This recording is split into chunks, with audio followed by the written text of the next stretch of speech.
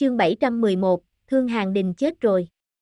Tú bà cũng biết khối linh thạch này phỏng tay đến cỡ nào, nếu nắm trong tay có thể sẽ dẫn đến một số phiền toái không cần thiết, nhưng dưới sự hấp dẫn lợi ích quá lớn, bà ta vẫn không thể chờ đợi chộp khối linh thạch lên tay, giấu vào trong ngực, nói với mấy cô gái, còn không nhanh chóng mời vị đại gia này. Đối với nữ tử trong thanh lâu mà nói, có tiền chính là đại gia, bất kể ngươi là tên ăn mày hay là cái gì, bảy tám cái nữ tử cố nén cảm giác buồn nôn trong lòng và mùi thối sộc vào mũi, cùng nhau lao về hướng tên ăn mày, cười nói không dứt, những cô gái này hiển nhiên am hiểu biểu diễn, cho dù là tên ăn mày tuôn ra mùi hôi ngút trời, biểu lộ trên mặt vẫn biểu hiện ra như bưng bánh trái thơm ngon. Tên ăn mày trái ôm phải ấp, cười ha ha nói, thoải mái, thoải mái.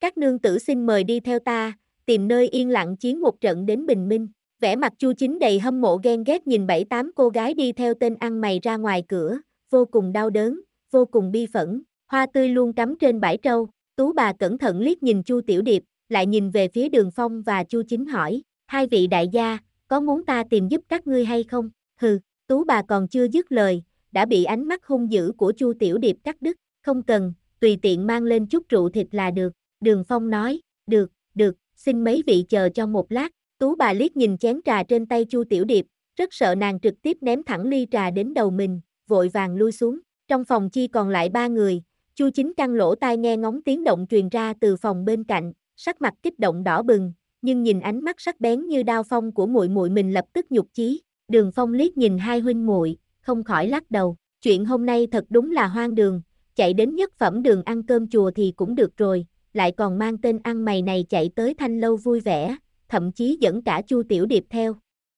Nếu chuyện này đến tai Chu Khê Hà, lão gia tử khẳng định sẽ trừng phạt mình. Không bao lâu, rượu và thức ăn đã được bưng lên, mặc dù ở nhất phẩm đường kêu rất nhiều đồ ăn, nhưng hai huynh muội Chu Chính cũng không ăn chút gì, chủ yếu vì bị tên ăn mày ngồi ở đó làm cho phát ngán, cho tới bây giờ xác thực cũng có chút đói bụng, dùng xong bữa, ba người tiếp tục ở trong phòng chờ đợi. Đường Phong ngược lại cũng không sợ tên ăn mày kia bỏ chạy, thần trí của mình vẫn tập trung vào vị trí của hắn, hắn có chấp cánh cũng không thể bay. Đợi sau lúc bình minh, tên ăn mày cuối cùng cũng lung la lung lay, bước chân siêu vẹo đi đến, hai đôi mắt quần thâm, mí mắt sưng vù, vừa nhìn đã thấy kết quả của phóng dục quá độ, đi thôi, tên ăn mày nghiêng đầu nói với Đường Phong, Đường Phong gõ bàn, đánh thức hai huynh muội Chu Chính đang nằm ngủ trên mặt bàn, đi theo tên ăn mày ra khỏi thanh lâu, sắc trời vừa sáng, một ngày náo nhiệt của khổ thủy thành lại bắt đầu, đi tới một đoạn đường, tên ăn mày đột nhiên ngừng lại, quay đầu nhìn Đường Phong nói, còn chưa thỉnh giáo các hạ xưng hô như thế nào, Đường Phong, Đường Phong không khỏi chấn động tinh thần, cùng tên ăn mày này làm càng một ngày một đêm, cuối cùng cũng cậy được miệng hắn, ngươi thì sao, tên ăn mày cười khổ một tiếng, quên rồi, đã hơn 10 năm không có người nào gọi tên của ta. Ngươi tìm thương hàng đình làm gì, có chuyện quan trọng cần bà ta giúp đỡ, đường phong nghiêm mặt nói, không biết huynh đài và thương hàng đình có quan hệ như thế nào, người là thái tổ của ta, tên ăn mày đáp, nhưng nếu ngươi muốn tìm người hỗ trợ, sợ là phải thất vọng rồi. Người đã mất từ lúc ta còn nhỏ, hiện tại đã qua vài thập niên rồi. Đường Phong đã sớm đoán trước kết quả này, cho nên cũng không quá bất ngờ, chỉ mở miệng hỏi, xin hỏi khi người mất, có để lại lời nói gì không? Tên ăn mày khẽ cười nói, chuyện như vậy làm sao ta nhớ được? Ta đã nói khi đó ta còn nhỏ, người không để lại thứ gì sao? Đường Phong tiếp tục hỏi, cho dù có để lại, bây giờ cũng không còn. Ánh mắt tên ăn mày có chút ảm đạm, lưu gia ta sớm đã diệt môn, hôm nay chỉ còn một mình ta kéo dài hơi tàn, ngoại trừ xiêm y trên người và cái chén bể này, cũng không còn thứ gì khác, thật sự không có bất kỳ vật gì sao, đường phong nhìn tên ăn mày chầm chầm hỏi, tên ăn mày chậm rãi lắc đầu, chu chính không khỏi ở bên cạnh kêu lên, chúng ta dây dưa với hắn một ngày một đêm, chẳng phải là toi công vô ích rồi sao, tên ăn mày liếc nhìn chu chính nói, ít nhất các ngươi biết rõ người các ngươi phải tìm đã chết sớm, hơn nữa hậu nhân của bà ta cũng không giúp được gì cho các ngươi. Hắn nói xong lại lập tức quay đầu nhìn đường phong nói, huynh đệ, cảm tạ khoản đãi hôm nay của ngươi, cáo từ, dứt lời, lấy từ trong lồng ngực ra cái chén bể của mình, đi về phía trước, vừa gõ chén bể, vừa rung đùi đắc ý hát, danh hòa lợi, tẩn yên tiêu, anh hùng đa tình, mỹ nhân đa kiều. Thiên cổ đa thiểu sự, tiêu sái nhất thanh tiếu, dịch nghĩa, danh và lợi chỉ là khói bay, anh hùng đa tình, mỹ nhân đa sắc. Thiên cổ bao nhiêu chuyện, tiêu sái một tiếng cười, Trong âm điệu hào phóng bất kham lại lộ ra một vẻ tiêu điều khiến lòng người chua xót. Hắn lại hát nói, triều đao đoạn thủy, cử bôi tiêu sầu, thử phiên bất xưng ý, canh giữ hà nhân thuyết, dịch nghĩa, rút đao đoạn thủy, nâng chén tiêu sầu, lần này không như ý, biết tỏ bày cùng ai. Chu Chính không khỏi ngạc nhiên nhìn theo bóng lưng tên ăn mày, thầm nói, tên này thật không giống một tên ăn mày. Lưu Huynh chậm đã, Đường Phong đột nhiên kêu tên ăn mày, tên ăn mày quay đầu lại, nhìn Đường Phong hỏi, còn chuyện gì sao? Đường Phong nói, thương tiền bối và trưởng bối nhà ta vốn là bằng hữu quen biết cũ, lần này khi đến khổ thủy thành, trưởng bối có dặn đi dặn lại, nhất định phải tới thăm thương tiền bối.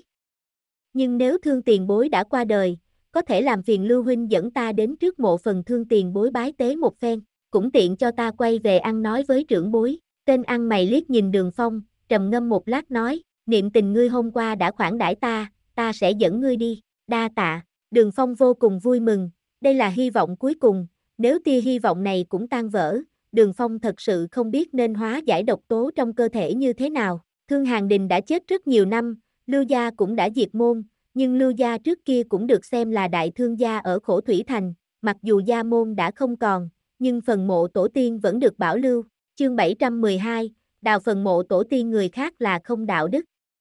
Bọn họ đi theo tên ăn mày ra khỏi khổ thủy thành, về hướng phía đông thành ước chừng 20 dặm, tìm được phần mộ của Thương Hàng Đình trước một nghĩa địa chiếm diện tích khá lớn. Sau khi tổ tông Lưu Gia qua đời đều được chôn cất ở đây, nhưng sau khi Lưu Gia diệt môn, ở đây quanh năm không có người chăm sóc, trên mộ phần đã sớm mọc đầy cỏ dại, đường phong phí hết một phen công phu, mới dọn dẹp sạch sẽ đám cỏ dại xung quanh mộ phần Thương Hàng Đình, lúc này mới tiến lên bái tế, đứng trước mộ phần, đường phong cẩn thận dò xét, một lát sau, trên khóe miệng không khỏi lộ ra một nụ cười thản nhiên, mặc dù hai người chu chính, chu tiểu điệp không quen biết Thương Hàng Đình, nhưng xuất phát từ lễ phép cũng tiến lên bái tế, sau khi quay về khổ thủy thành, ba người đường phong liền chia tay tên ăn mày, mỗi người đi mỗi ngã. Trên đường đi Chu Chính ra sức mắng chửi tên ăn mày, dù sao cũng đi cùng hắn một ngày một đêm, nhìn hắn ăn, nhìn hắn chơi gái, thật sự là có chút phẫn uất. Đường huynh, người huynh cần tìm đã chết, vậy bây giờ làm thế nào? Chu gia ta có thể giúp được gì không? Chu Chính Ân cần hỏi thăm, ngoại trừ Thương Hàng Đình, những người khác không giúp được. Đường Phong lắc đầu, Chu Chính thở dài một tiếng, cảm thấy bất bình thay cho Đường Phong, nhưng trong lòng Đường Phong lại có ý định khác, mặc dù Thương Hàng Đình đã chết, nhưng vẫn lưu lại một thứ, mà vật kia nằm chính trong phần mộ, nếu như không đoán sai, vật kia là mấu chốt giải độc, nếu lúc trước độc vương Thương Bất Khải đã nói cách giải độc giao cho Thương Hàng Đình, Thương Hàng Đình chắc chắn sẽ không dễ dàng vứt bỏ, khi trở lại Chu gia, trong lòng Chu Chính không khỏi run sợ, vốn còn tưởng rằng lão gia tử và phụ thân mình sẽ hỏi thăm hôm qua đi đâu, nhưng khiến hắn không nghĩ tới chính là, Chu lão gia tử lại không nói câu nào, ngược lại vẻ mặt ôn hòa, dáng vẻ tươi cười, khiến hắn lo lắng vô ích một hồi. Đến đêm khuya, khi Chu Chính đang ngồi trên giường vận công tu luyện, ngoài cửa lại đột nhiên truyền đến tiếng gõ cửa khe khẽ, lập tức thanh âm của Đường Phong truyền tới, "Chu huynh ngủ chưa?" "Chưa." Chu Chính đứng dậy mở cửa,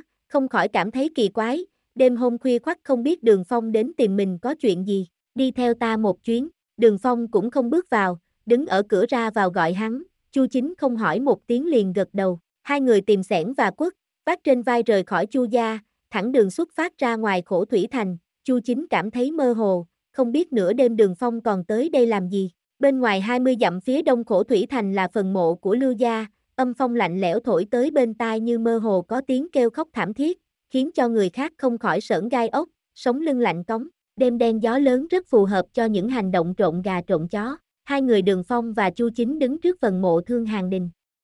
Trên tay một người cầm cái quất, người còn lại cầm cái xẻng. Chu chính toát mồ hôi lạnh, yếu ớt nói, đường huynh, chúng ta làm gì vậy? Đây không phải chỗ ban ngày đã tới sao? Đúng, đường phong khẽ gật đầu, án chừng cái quất trên tay, chỉ vào phần mộ thương hàng đình nói, đào lên, chu chính không khỏi trùng mình, run rẩy nói, đào phần mộ tổ tiên người khác.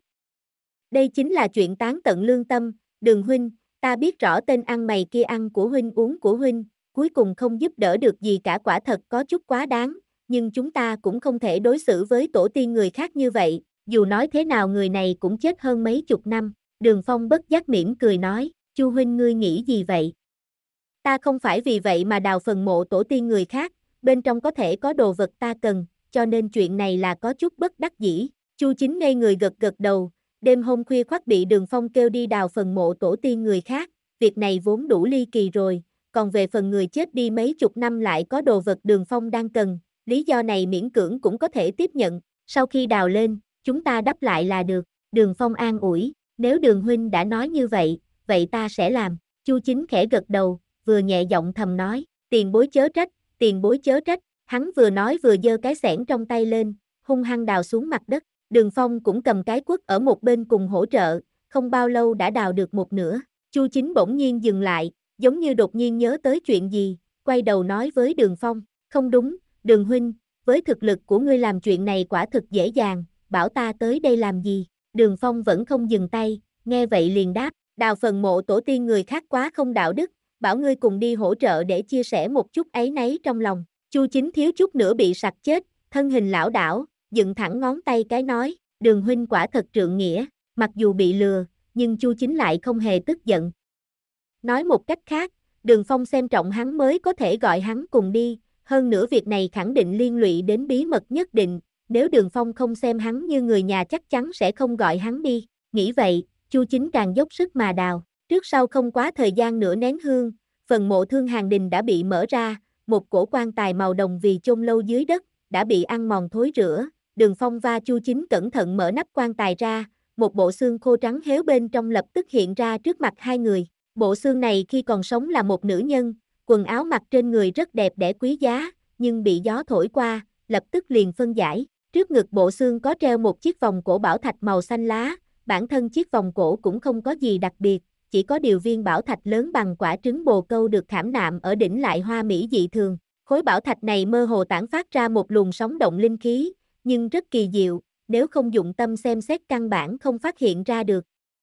Ban ngày đường phong đứng trước phần mộ, chính vì cảm nhận được luồng sóng động này, mới khẳng định trong phần mộ có thứ gì đó. Nói một tiếng, đắc tội, đường phong thò tay tháo vòng cổ bảo thạch từ trên người bộ xương khô xuống, nhét vào trong không gian mị ảnh, nói với Chu Chính, đắp lại, hai người lại tiếp tục bận rộn, đắp lại phần mộ như cũ, đứng trước phần mộ, Đường Phong nói, sau này nếu Chu Huynh rảnh rỗi, hàng năm đến bái tế một hai lần, xem như xin lỗi cho hành động bất đắc dĩ của chúng ta hôm nay, điều này là đương nhiên, Chu Chính gật đầu, Đường Huynh không nói ta cũng sẽ làm, bọn họ đi theo tên ăn mày ra khỏi khổ thủy thành, về hướng phía đông thành ước chừng 20 dặm, tìm được phần mộ của Thương Hàng Đình trước một nghĩa địa chiếm diện tích khá lớn. Sau khi tổ tông Lưu Gia qua đời đều được chôn cất ở đây, nhưng sau khi Lưu Gia diệt môn, ở đây quanh năm không có người chăm sóc, trên mộ phần đã sớm mọc đầy cỏ dại, đường phong phí hết một phen công phu, mới dọn dẹp sạch sẽ đám cỏ dại xung quanh mộ phần Thương Hàng Đình, lúc này mới tiến lên bái tế, đứng trước mộ phần, đường phong cẩn thận dò xét, một lát sau, trên khóe miệng không khỏi lộ ra một nụ cười thản nhiên, mặc dù hai người chu chính, Chu Tiểu Điệp không quen biết Thương Hàng Đình, nhưng xuất phát từ lễ phép cũng tiến lên bái tế. Sau khi quay về khổ thủy thành, ba người đường phong liền chia tay tên ăn mày, mỗi người đi mỗi ngã. Trên đường đi Chu Chính ra sức mắng chửi tên ăn mày, dù sao cũng đi cùng hắn một ngày một đêm, nhìn hắn ăn, nhìn hắn chơi gái, thật sự là có chút phẫn uất. Đường huynh, người huynh cần tìm đã chết, vậy bây giờ làm thế nào? Chu gia ta có thể giúp được gì không? Chu Chính ân cần hỏi thăm, ngoại trừ Thương Hàng Đình, những người khác không giúp được, Đường Phong lắc đầu, Chu Chính thở dài một tiếng, cảm thấy bất bình thay cho Đường Phong, nhưng trong lòng Đường Phong lại có ý định khác, mặc dù Thương Hàng Đình đã chết, nhưng vẫn lưu lại một thứ, mà vật kia nằm chính trong phần mộ, nếu như không đoán sai, vật kia là mấu chốt giải độc, nếu lúc trước độc vương Thương Bất Khải đã nói cách giải độc giao cho Thương Hàng Đình, Thương Hàng Đình chắc chắn sẽ không dễ dàng vứt bỏ. Khi trở lại Chu gia, trong lòng Chu Chính không khỏi run sợ, vốn còn tưởng rằng lão gia tử và phụ thân mình sẽ hỏi thăm hôm qua đi đâu, nhưng khiến hắn không nghĩ tới chính là, Chu lão gia tử lại không nói câu nào, ngược lại vẻ mặt ôn hòa, dáng vẻ tươi cười, khiến hắn lo lắng vô ích một hồi. Đến đêm khuya, khi Chu Chính đang ngồi trên giường vận công tu luyện, ngoài cửa lại đột nhiên truyền đến tiếng gõ cửa khe khẽ, lập tức thanh âm của Đường Phong truyền tới, "Chu huynh ngủ chưa?" "Chưa." Chu Chính đứng dậy mở cửa, không khỏi cảm thấy kỳ quái, đêm hôm khuya khoắt không biết Đường Phong đến tìm mình có chuyện gì, đi theo ta một chuyến, Đường Phong cũng không bước vào, đứng ở cửa ra vào gọi hắn, Chu Chính không hỏi một tiếng liền gật đầu, hai người tìm sẻn và quất, vác trên vai rời khỏi Chu gia, thẳng đường xuất phát ra ngoài khổ thủy thành, Chu Chính cảm thấy mơ hồ, không biết nửa đêm Đường Phong còn tới đây làm gì, Bên ngoài 20 dặm phía đông khổ thủy thành là phần mộ của Lưu Gia, âm phong lạnh lẽo thổi tới bên tai như mơ hồ có tiếng kêu khóc thảm thiết, khiến cho người khác không khỏi sởn gai ốc, sống lưng lạnh cống. Đêm đen gió lớn rất phù hợp cho những hành động trộn gà trộn chó. Hai người Đường Phong và Chu Chính đứng trước phần mộ Thương Hàng Đình. Trên tay một người cầm cái quất, người còn lại cầm cái xẻng. Chu Chính toát mồ hôi lạnh, yếu ớt nói, Đường Huynh, chúng ta làm gì vậy? Đây không phải chỗ ban ngày đã tới sao? Đúng, Đường Phong khẽ gật đầu, án chừng cái quất trên tay, chỉ vào phần mộ Thương Hàng Đình nói, đào lên, Chu Chính không khỏi trùng mình, run rẩy nói, đào phần mộ tổ tiên người khác. Đây chính là chuyện tán tận lương tâm, Đường Huynh, ta biết rõ tên ăn mày kia ăn của huynh uống của huynh, cuối cùng không giúp đỡ được gì cả quả thật có chút quá đáng, nhưng chúng ta cũng không thể đối xử với tổ tiên người khác như vậy, dù nói thế nào người này cũng chết hơn mấy chục năm, đường phong bất giác mỉm cười nói, chu huynh ngươi nghĩ gì vậy? Ta không phải vì vậy mà đào phần mộ tổ tiên người khác, bên trong có thể có đồ vật ta cần, cho nên chuyện này là có chút bất đắc dĩ. Chu chính ngây người gật gật đầu, đêm hôm khuya khoác bị đường phong kêu đi đào phần mộ tổ tiên người khác, việc này vốn đủ ly kỳ rồi, còn về phần người chết đi mấy chục năm lại có đồ vật đường phong đang cần, lý do này miễn cưỡng cũng có thể tiếp nhận, sau khi đào lên, chúng ta đắp lại là được, đường phong an ủi, nếu đường huynh đã nói như vậy, vậy ta sẽ làm, chu chính khẽ gật đầu, vừa nhẹ giọng thầm nói, tiền bối chớ trách, tiền bối chớ trách, hắn vừa nói vừa giơ cái xẻng trong tay lên, hung hăng đào xuống mặt đất, đường phong cũng cầm cái quất ở một bên cùng hỗ trợ, không bao lâu đã đào được một nửa, chu chính bỗng nhiên dừng lại, giống như đột nhiên nhớ tới chuyện gì, quay đầu nói với đường phong, không đúng, đường huynh, với thực lực của ngươi làm chuyện này quả thực dễ dàng, bảo ta tới đây làm gì, đường phong vẫn không dừng tay, nghe vậy liền đáp, đào phần mộ tổ tiên người khác quá không đạo đức, bảo ngươi cùng đi hỗ trợ để chia sẻ một chút ấy nấy trong lòng. Chu chính thiếu chút nữa bị sặc chết, thân hình lão đảo, dựng thẳng ngón tay cái nói, đường huynh quả thật trượng nghĩa, mặc dù bị lừa, nhưng Chu chính lại không hề tức giận. Nói một cách khác, đường phong xem trọng hắn mới có thể gọi hắn cùng đi, hơn nữa việc này khẳng định liên lụy đến bí mật nhất định, nếu đường phong không xem hắn như người nhà chắc chắn sẽ không gọi hắn đi, nghĩ vậy, Chu chính càng dốc sức mà đào. Trước sau không quá thời gian nửa nén hương, phần mộ thương hàng đình đã bị mở ra, một cổ quan tài màu đồng vì chôn lâu dưới đất, đã bị ăn mòn thối rữa, đường phong va chu chính cẩn thận mở nắp quan tài ra, một bộ xương khô trắng héo bên trong lập tức hiện ra trước mặt hai người. Bộ xương này khi còn sống là một nữ nhân, quần áo mặc trên người rất đẹp đẽ quý giá, nhưng bị gió thổi qua, lập tức liền phân giải. Trước ngực bộ xương có treo một chiếc vòng cổ bảo thạch màu xanh lá, bản thân chiếc vòng cổ cũng không có gì đặc biệt, chỉ có điều viên bảo thạch lớn bằng quả trứng bồ câu được khảm nạm ở đỉnh lại hoa mỹ dị thường. Khối bảo thạch này mơ hồ tản phát ra một luồng sóng động linh khí, nhưng rất kỳ diệu, nếu không dụng tâm xem xét căn bản không phát hiện ra được. Ban ngày Đường Phong đứng trước phần mộ, chính vì cảm nhận được luồng sóng động này, mới khẳng định trong phần mộ có thứ gì đó. Nói một tiếng, đắc tội, Đường Phong thò tay tháo vòng cổ bảo thạch từ trên người bộ xương khô xuống, nhét vào trong không gian mị ảnh, nói với Chu Chính, đắp lại, hai người lại tiếp tục bận rộn, đắp lại phần mộ như cũ, đứng trước phần mộ, Đường Phong nói, sau này nếu Chu Huynh rảnh rỗi, hàng năm đến bái tế một hai lần, xem như xin lỗi cho hành động bất đắc dĩ của chúng ta hôm nay, điều này là đương nhiên, Chu Chính gật đầu, Đường Huynh không nói ta cũng sẽ làm, chương 713, đột phá thiên giai trung phẩm. Xem ra, độc vương thương bất khải cũng không lừa gạt mình, mà là mình đa tâm, tốc độ di chuyển của độc tố rất chậm, ít nhất không cách nào đánh đồng với tốc độ cương khí của mình bị hút đi, thế nhưng đường phong đã rất thỏa mãn, từ chỗ đang điền bị dẫn dắt đến kinh mạch, lại từng chút một di động, thần thức đường phong cứ tập trung vào tia độc tố này, không dám có chút thư giãn, dưới sự quan sát của đường phong, tia độc tố bị hấp lực truyền đến trong lục bảo thạch lôi kéo, cuối cùng dần dần rời khỏi vị trí đang điền mà nó đã chiếm giữ mấy tháng, tiến vào trong kinh mạch của mình, lại từng chút một di động ra bên ngoài đồng thời bị lôi kéo phản phất còn có ba hồn bảy vía của mình, đường phong chỉ cảm thấy chóng mặt hóa mắt, toàn bộ thế giới đều đang lay động, cương khí bản thân hiện tại không còn chút nào, vất vả lắm mới vận công hấp thụ một chút cương khí từ ngoại giới nhập vào cơ thể, nhưng lập tức lại trôi mất ra ngoài, cứ tiếp tục như vậy tuyệt đối không được, kinh nghiệm đối với loại chuyện này, trong kinh mạch không có cương khí nguy hại rất lớn đến bản thân mình. Lúc này phải nghĩ cách hấp thụ nhiều linh khí thiên địa hơn mới được, nghĩ vậy, Đường Phong vội vàng lấy La Ngọc Thạch Tâm ra. Khối ngọc thạch tự hồ đã thông linh này lần này cũng không khiến đường phong khó xử, vừa xuất hiện liền thể hiện tác dụng cường đại của mình. Linh khí trong phạm vi hơn 10 dặm nháy mắt lao về hướng La Ngọc Thạch Tâm. Từng luồng cuồng phong từ bốn phương tám hướng cuồn cuộn nổi lên, không bao lâu sau, ở vị trí của Chu gia linh khí ngút trời, khiến đám người Chu Khê Hà nhìn thấy mà trợn mắt há mồm. Vô thường quyết của Đường Phong điên cuồng vận chuyển, đem linh khí thiên địa La Ngọc Thạch Tâm tụ lại tiến vào trong cơ thể lắng động thành cương khí. Lúc này, hiệu suất vận công của Đường Phong nhanh đến mức khiến người ta căm phẫn. Vô thường quyết chủ động vận chuyển, cảnh giới thiên nhân hợp nhất cũng đã mở ra, đồng thời bất phôi giáp cũng có tác dụng tụ tập linh khí thiên địa, hơn nữa La Ngọc Thạch Tâm, nhiều yếu tố phụ trợ như vậy, có thể nói hiện tại hiệu suất vận công của đường phong nhanh gấp 6-7 lần bình thường. Dù vậy, cương khí lắng động tiến vào trong kinh mạch cũng chỉ có thể khó khăn bình ổn tốc độ sói mòn. Đường phong bất chấp tia độc tố kia có thể thôn vệ cương khí lớn mạnh của bản thân, vội vàng thúc giục cương khí điên cuồng va đập vào độc tố đang chậm chạp di động, khiến nó nhanh chóng lăn ra khỏi kinh mạch của mình. Từng chút một, tốc độ di chuyển của độc tố dần chậm lại khiến đường phong lo lắng, chậm đến mức khiến người ta nổi giận, nhưng ít nhất đã thấy được một tia hy vọng. Trong quá trình di động độc tố giống như đường phong đã suy đoán, cắn nuốt cương khí của mình chậm rãi lớn mạnh, mặc dù tố chất thân thể cường hãn như đường phong, lúc này cũng rõ ràng cảm nhận được uy hiếp đến từ độc tố.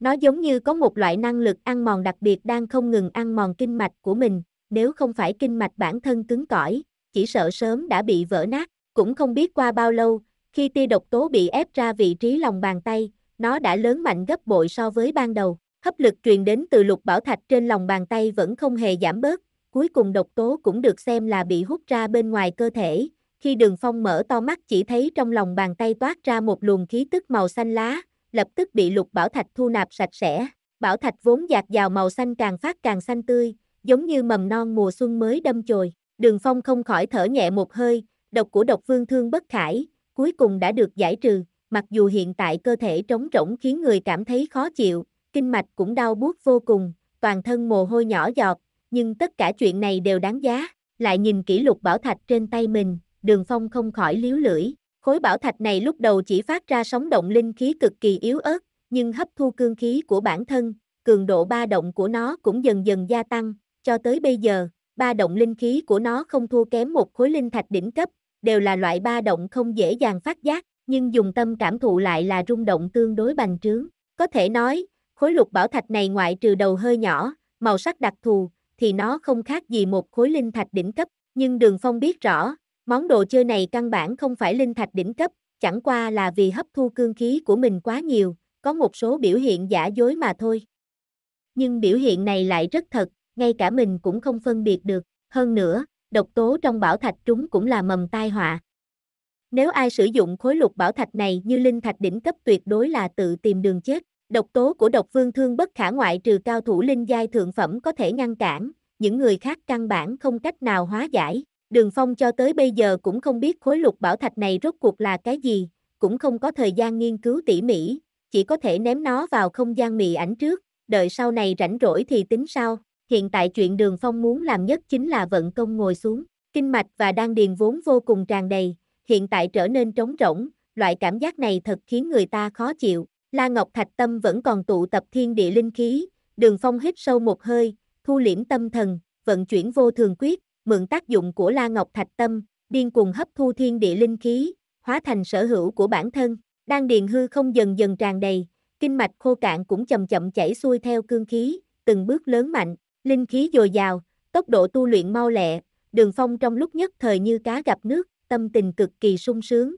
điều này khiến hắn nhớ lại tràn cảnh tu luyện trong băng hỏa 36 phòng tại băng hỏa đảo, khi ở trong băng hỏa 36 phòng, cũng có thiên địa linh khí dồi dào có thể hoang phí như vậy, nếu coi linh khí trong thế tục thành nhà bình thường, thì linh khí của linh mạch chi địa chính là nhà thường thường bậc trung, còn linh khí bên cạnh đường phong lúc này là thương nhân trăm vạn, muốn tiêu xài như thế nào thì tiêu xài, trọn vẹn tiêu tốn hơn 2 canh giờ, đường phong mới hoàn tất bổ sung cương khí trong cơ thể, quay lại trạng thái đỉnh phong. Khi đang chuẩn bị chấm dứt vận công, cương tâm tiểu khô lâu trong cơ thể lại mạnh mẽ rung rẩy. Ngay sau đó, toàn bộ cương khí trong đan điền cũng bắt đầu xoay tròn theo chiều kim đồng hồ, vận tốc quay ban đầu rất chậm, nhưng theo thời gian dần dần nhanh hơn, vận chuyển cương khí trong đan điền khiến phần bụng đường phong tạo thành một vòng xoáy lúc có lúc không, vòng xoáy này lôi kéo linh khí xung quanh cơ thể, không bị khống chế mà dũng mãnh tiến vào cơ thể. Đường Phong nhíu mày, không khỏi mừng rỡ như điên. Dấu hiệu này rõ ràng là dấu hiệu sắp đột phá.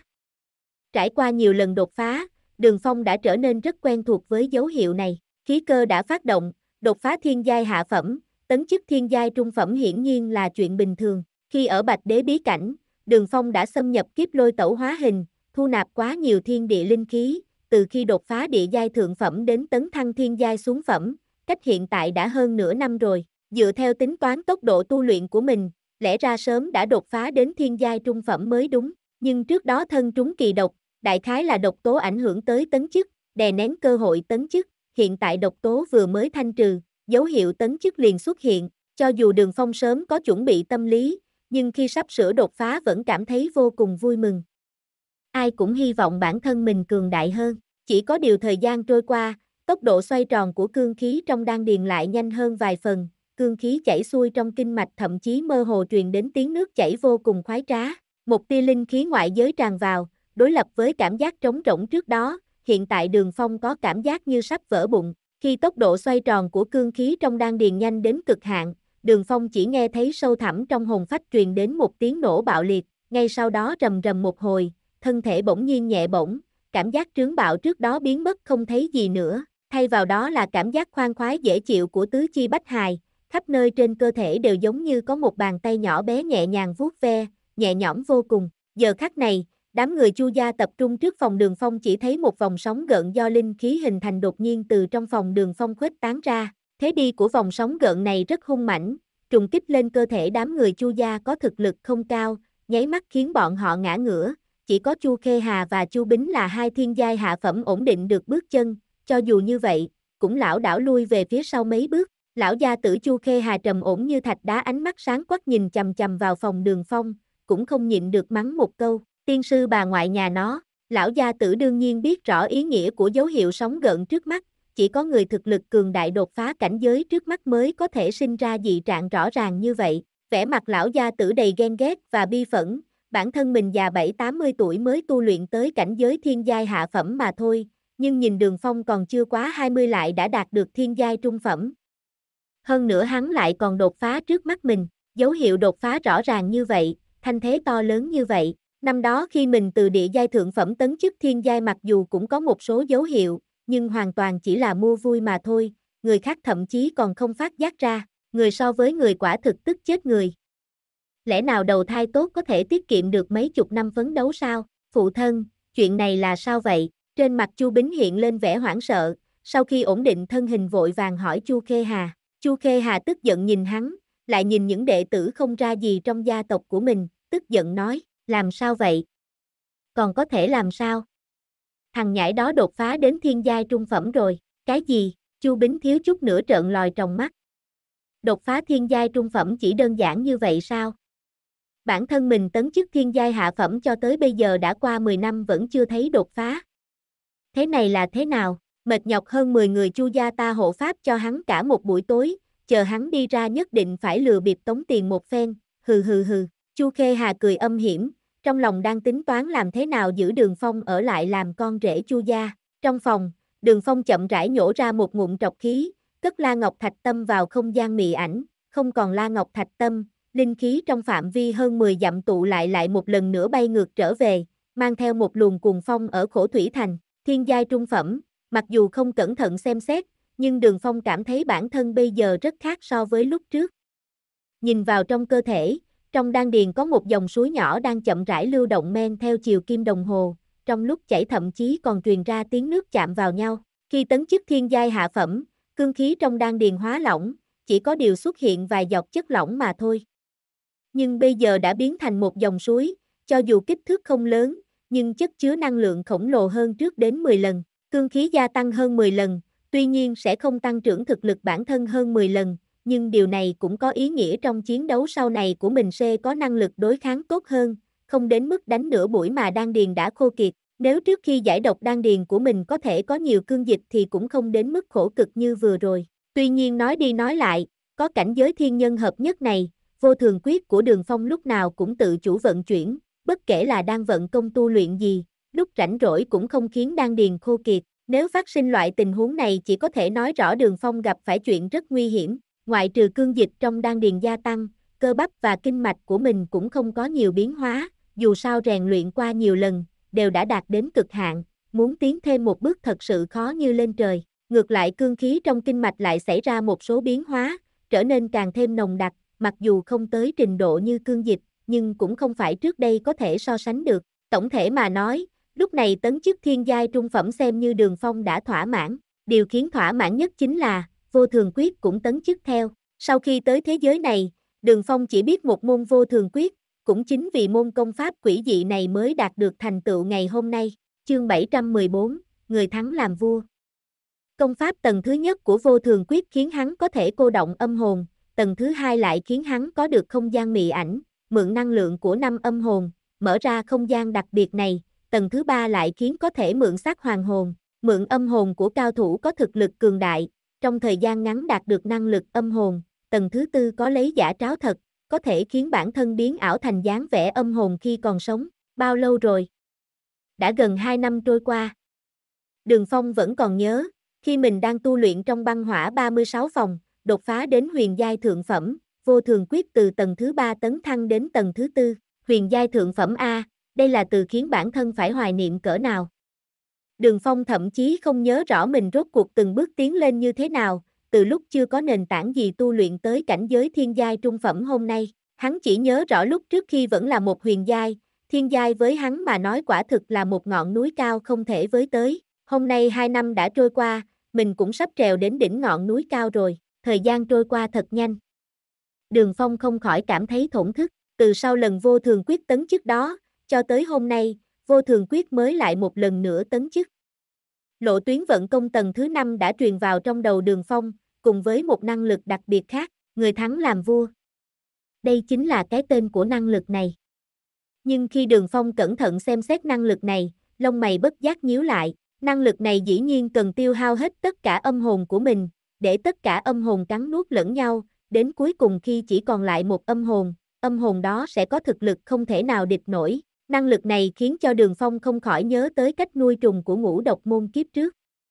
Khi ngũ độc môn nuôi trùng cũng đặt rất nhiều độc trùng độc vật vào trong một cái bình, để chúng tự giết lẫn nhau, độc vật sống sót cuối cùng chính là chúa trùng, có đầy đủ độc tính và lực sát thương, căn bản không phải độc vật bình thường có thể so sánh được, so sánh hai cái với nhau, người thắng làm vua quả thực dùng chung khuôn mẫu với cách nuôi trùng. Đến hôm nay, Đường Phong cuối cùng cũng phát hiện ra chỗ huyền bí của môn vô thường quyết này. Mỗi lần tấn khai một tầng, đều đạt được một năng lực mới mẻ, mà năng lực này, nhất định có móc nối với âm hồn, bất kể là mượn xác hoàng hồn, hay là lấy giả tráo thật, hay là không gian mị ảnh đều phải lấy âm hồn làm nền tảng mới có thể thi triển ra, nếu không có âm hồn những năng lực này cũng chỉ là vật bài trí, người thắng làm vua lần này đồng dạng cũng như vậy.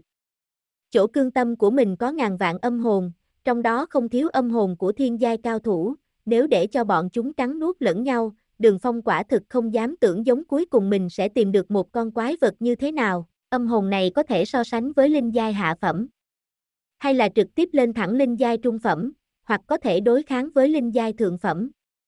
Mặc dù đường phong chưa thử cũng có thể tưởng tượng được chỗ khủng bố của âm hồn này, theo thực lực tăng trưởng, đường phong đã rất ít vận dụng năng lực mượn sát hoàng hồn. Trước kia thực lực thấp, mượn cảnh giới người khác có thể thay đổi chiến cuộc, nhưng hiện tại bản thân cũng là cao thủ thiên giai, những âm hồn kia cho dù khi sống là thiên giai thượng phẩm, cũng không được đường phong để mắt, nếu thật sự vận dụng năng lực người thắng làm vua này, vậy bản thân sẽ lại có đòn sát thủ mượn sát hoàng hồn. Bất kể như thế nào, ngàn vạn âm hồn này cắn nuốt đến cuối cùng, thực lực có được tuyệt đối sẽ cao hơn mình rất nhiều, nhưng cứ như vậy, những âm hồn mình đã vất vả thu thập nhiều năm sẽ hao tổn hết.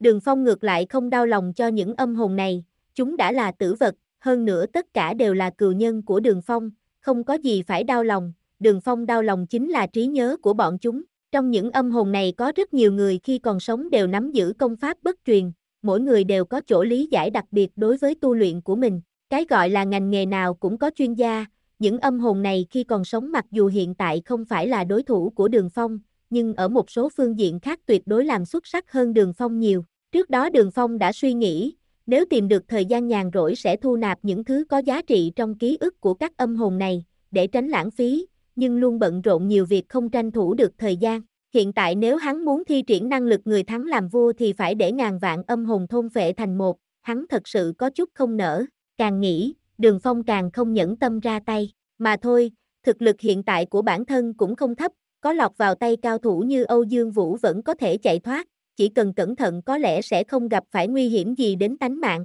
năng lực này tạm thời đặt sang một bên, đợi sau này mình xử lý những thứ có giá trị trong trí nhớ các âm hồn kia rồi nói sau. Sau khi quyết định, trong lòng đường phong cũng nhẹ nhõm không ít.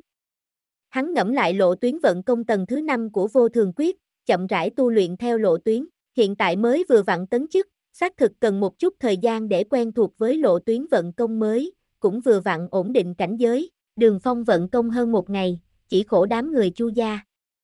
Đám người này từ sau khi trong phòng đường phong phát ra tiếng động, liền một mực canh giữ ở ngoài phòng, vất vả đợi động tĩnh lắng xuống, nhưng đường phong vẫn chưa ra ngoài, chu lão gia tử cũng cố thủ tại chỗ, hắn không rời đi, đám người chu gia đương nhiên không dám rời đi, chỉ có thể kiên trì chờ đợi. Trong lúc đó, không ít cao thủ khổ thủy thành đều chạy đến xem rút cuộc chuyện gì xảy ra, nhưng cũng chỉ nhìn mà thôi, chứ không có ý sinh sự, chu gia suy yếu, đương nhiên không có năng lực quản những cao thủ kia, chỉ có thể mặc cho bọn hắn đứng ở bên cạnh. Cho đến lúc chạng vạn tối ngày hôm sau, Đường Phong mới lại mở mắt, cảnh giới thiên giai trung phẩm vẫn cần đợi vững chắc, nhưng lộ tuyến vận công tầng thứ 5 của vô thường quyết cũng đã quen thuộc, còn lại chỉ cần để cảnh giới thiên nhân hợp nhất kéo vô thường quyết tự chủ vận chuyển, theo thời gian trôi qua, cảnh giới tự nhiên có thể vững chắc, ngoài phòng có không ít luồng khí tức mạnh yếu, sau khi đường phong hơi xem xét, lúc này mới đứng dậy bước ra ngoài, Chu Khê Hà nghe thấy động tĩnh, hai mắt bất giác tỏa sáng, nghênh tiếp đường phong, trên khuôn mặt già nua nặng ra một nụ cười, cất cao giọng nói, Tuấn Tài đường gia bảo tấn chức thiên giai trung phẩm, thật đáng chúc mừng, lão gia tử hô cực kỳ vang dội, nhất là ba chữ đường gia bảo được nhấn mạnh cực kỳ, đường phong không khỏi nhướng mí mắt, quả nhiên, sau khi đám cao thủ khổ thủy thành đang vây xem nghe thấy ba chữ đường gia bảo, bất giác đều ngay ngắn lui về sau một bước, đường gia bảo hiện giờ danh tiếng đại thịnh, đạt được đệ nhất gia tộc, lại có nhân vật yêu nghiệt như đường phong, là thế lực không phải người bình thường có thể trêu chọc, đường gia bảo hiện tại, ngay cả người của bố Gia Trang cũng phải nể mặt, thậm chí có đồn đãi, bố Trường Hải và Trang Chính Dương còn có ý định đến đường Gia Bảo kết thân, lão gia tử ngươi thật là nham hiểm, đường phong liếc nhìn Chu Khê Hà nói, Chu lão gia tử cười khổ đáp, nhiều người đến xem náo nhiệt như vậy, dẫm hư cả nhà cửa Chu gia ta, mượn tên tuổi đường Gia Bảo dùng một chút cũng có sức mẻ gì đâu, bất kể nói thế nào, vãn bối vẫn phải tạ ơn lão gia tử và các vị tiền bối Chu gia đã thủ hộ, đường phong nghiêm mặt nói, có những lời này là đủ rồi, Chu Khê Hà cười ha ha, đường phong quay đầu quan sát xung quanh, ông quyền nói, các vị bằng hữu từ đâu chạy đến thì xin quay về nơi đó, hôm qua đường mổ chẳng qua bất tài, tấn chức thiên giai trung phẩm gây ra chút động tĩnh mà thôi, cũng không phải dị bảo xuất thế, làm phiền các vị phải hộ pháp cho đường mổ rồi. Đám người xem náo nhiệt nghe thấy những lời này của đường phong không khỏi lộ vẻ thất vọng, bọn hắn đúng là phát giác động tĩnh mới đến đây xem bên trong có gì xảy ra, bây giờ nghe đường phong nói đó là dị trạng tấn chức, tự nhiên rất thất vọng, một đám người ôm quyền với đường phong, dứt khoát quay đầu rời đi, trong nháy mắt, các loại cao thủ kéo đến chu gia trước sau triển khai thân pháp lần lượt rời đi, chu chính đi đến trước mặt đường phong, sắc mặt trắng bệch, lo chết đi được, làm sao lại có nhiều người tới như vậy, người tới thì cũng thôi đi, nhưng tất cả những người này đều là người Chu gia không thể trêu chọc, Đường Tiểu Ca à, Chu lão gia tử liếc nhìn Đường Phong, ngữ khí vô cùng mập mờ. Tiểu ca thấy mình ở Chu gia ta may mắn tấn chức thiên giai trung phẩm, trước đó vài ngày lại có một số ước định với lão gia tử ta, bây giờ có phải nên thực hiện ước định rồi không? Lão gia tử quy kết chuyện Đường Phong tấn chức là nhờ may mắn ở Chu gia, quả thực không biết xấu hổ. Tuy nhiên Đường Phong đã quen với chuyện này, nghe vậy nói, đúng, xác thực là lúc này, Chu Khê Hà vô cùng vui mừng, đang chuẩn bị mở miệng hỏi thăm Đường Phong lúc nào xử lý việc vui, đã thấy Đường Phong ngoắt ta gọi Chu Tiểu Điệp đang đứng bên cạnh, Tiểu Điệp tới đây, Chu Tiểu Điệp cố tình không muốn tiến đến, nhưng trở ngại thực lực Đường Phong quá mức khủng bố, không tình nguyện đi đến trước mặt Đường Phong biểu môi nói, làm gì vậy, đi theo ta đến đường Gia Bảo, tại sao ta phải đi theo, Chu Tiểu Điệp trợn trừng đôi mắt lung linh nước mắt hỏi, ồ, Trước đó vài ngày khi ngươi cầu ta ra tay giúp đỡ Chu gia, không phải đã đồng ý làm đồng bạn của ta rồi sao? Đường Phong vô cùng ngạc nhiên, Chu Tiểu Điệp nghiêng đầu sang một bên, sắc mặt mất tự nhiên nói, ta đồng ý ngươi lúc nào, có phải ngươi nghe nhầm không? Đường Phong nhìn nàng thật lâu, cười hắc hắc, qua sông đoạn cầu đúng không? Tiểu nha đầu nàng thậm chí có lá gan chơi trò này, thật sự muốn khi dễ thiếu gia hay sao? Trong mắt Chu Tiểu Điệp hiện lên một tia xảo trá, con mắt biến thành hình trăng lưỡi liềm, nhìn thẳng Đường Phong nói, đúng thì sao? Ngươi có bằng chứng gì, lẽ nào ngươi có thể tiêu diệt Chu gia ta? Ta tin ngươi sẽ không làm, bớt nói xàm cho ta. Đường Phong lộ ra một chiếc răng nanh trắng héo, chọc giận thiếu gia, ta sẽ hủy diệt Chu gia thật đấy. Bây giờ đi theo ta, ta không đi. Chu Tiểu Điệp vội vàng lẻn đến sau lưng Chu Khê Hà, làm mặt quỷ với Đường Phong. Chu Khê Hà cười khổ, hòa giải nói, Đường Tiểu ca ngươi đừng vội, Tiểu Điệp còn nhỏ tuổi, trong lúc nhất thời nghĩ không ra, đợi lão tử sẽ khuyên bảo cẩn thận. Nhưng Tiểu ca vừa rồi nói muốn dẫn Tiểu Điệp tới đường gia bảo là có ý gì?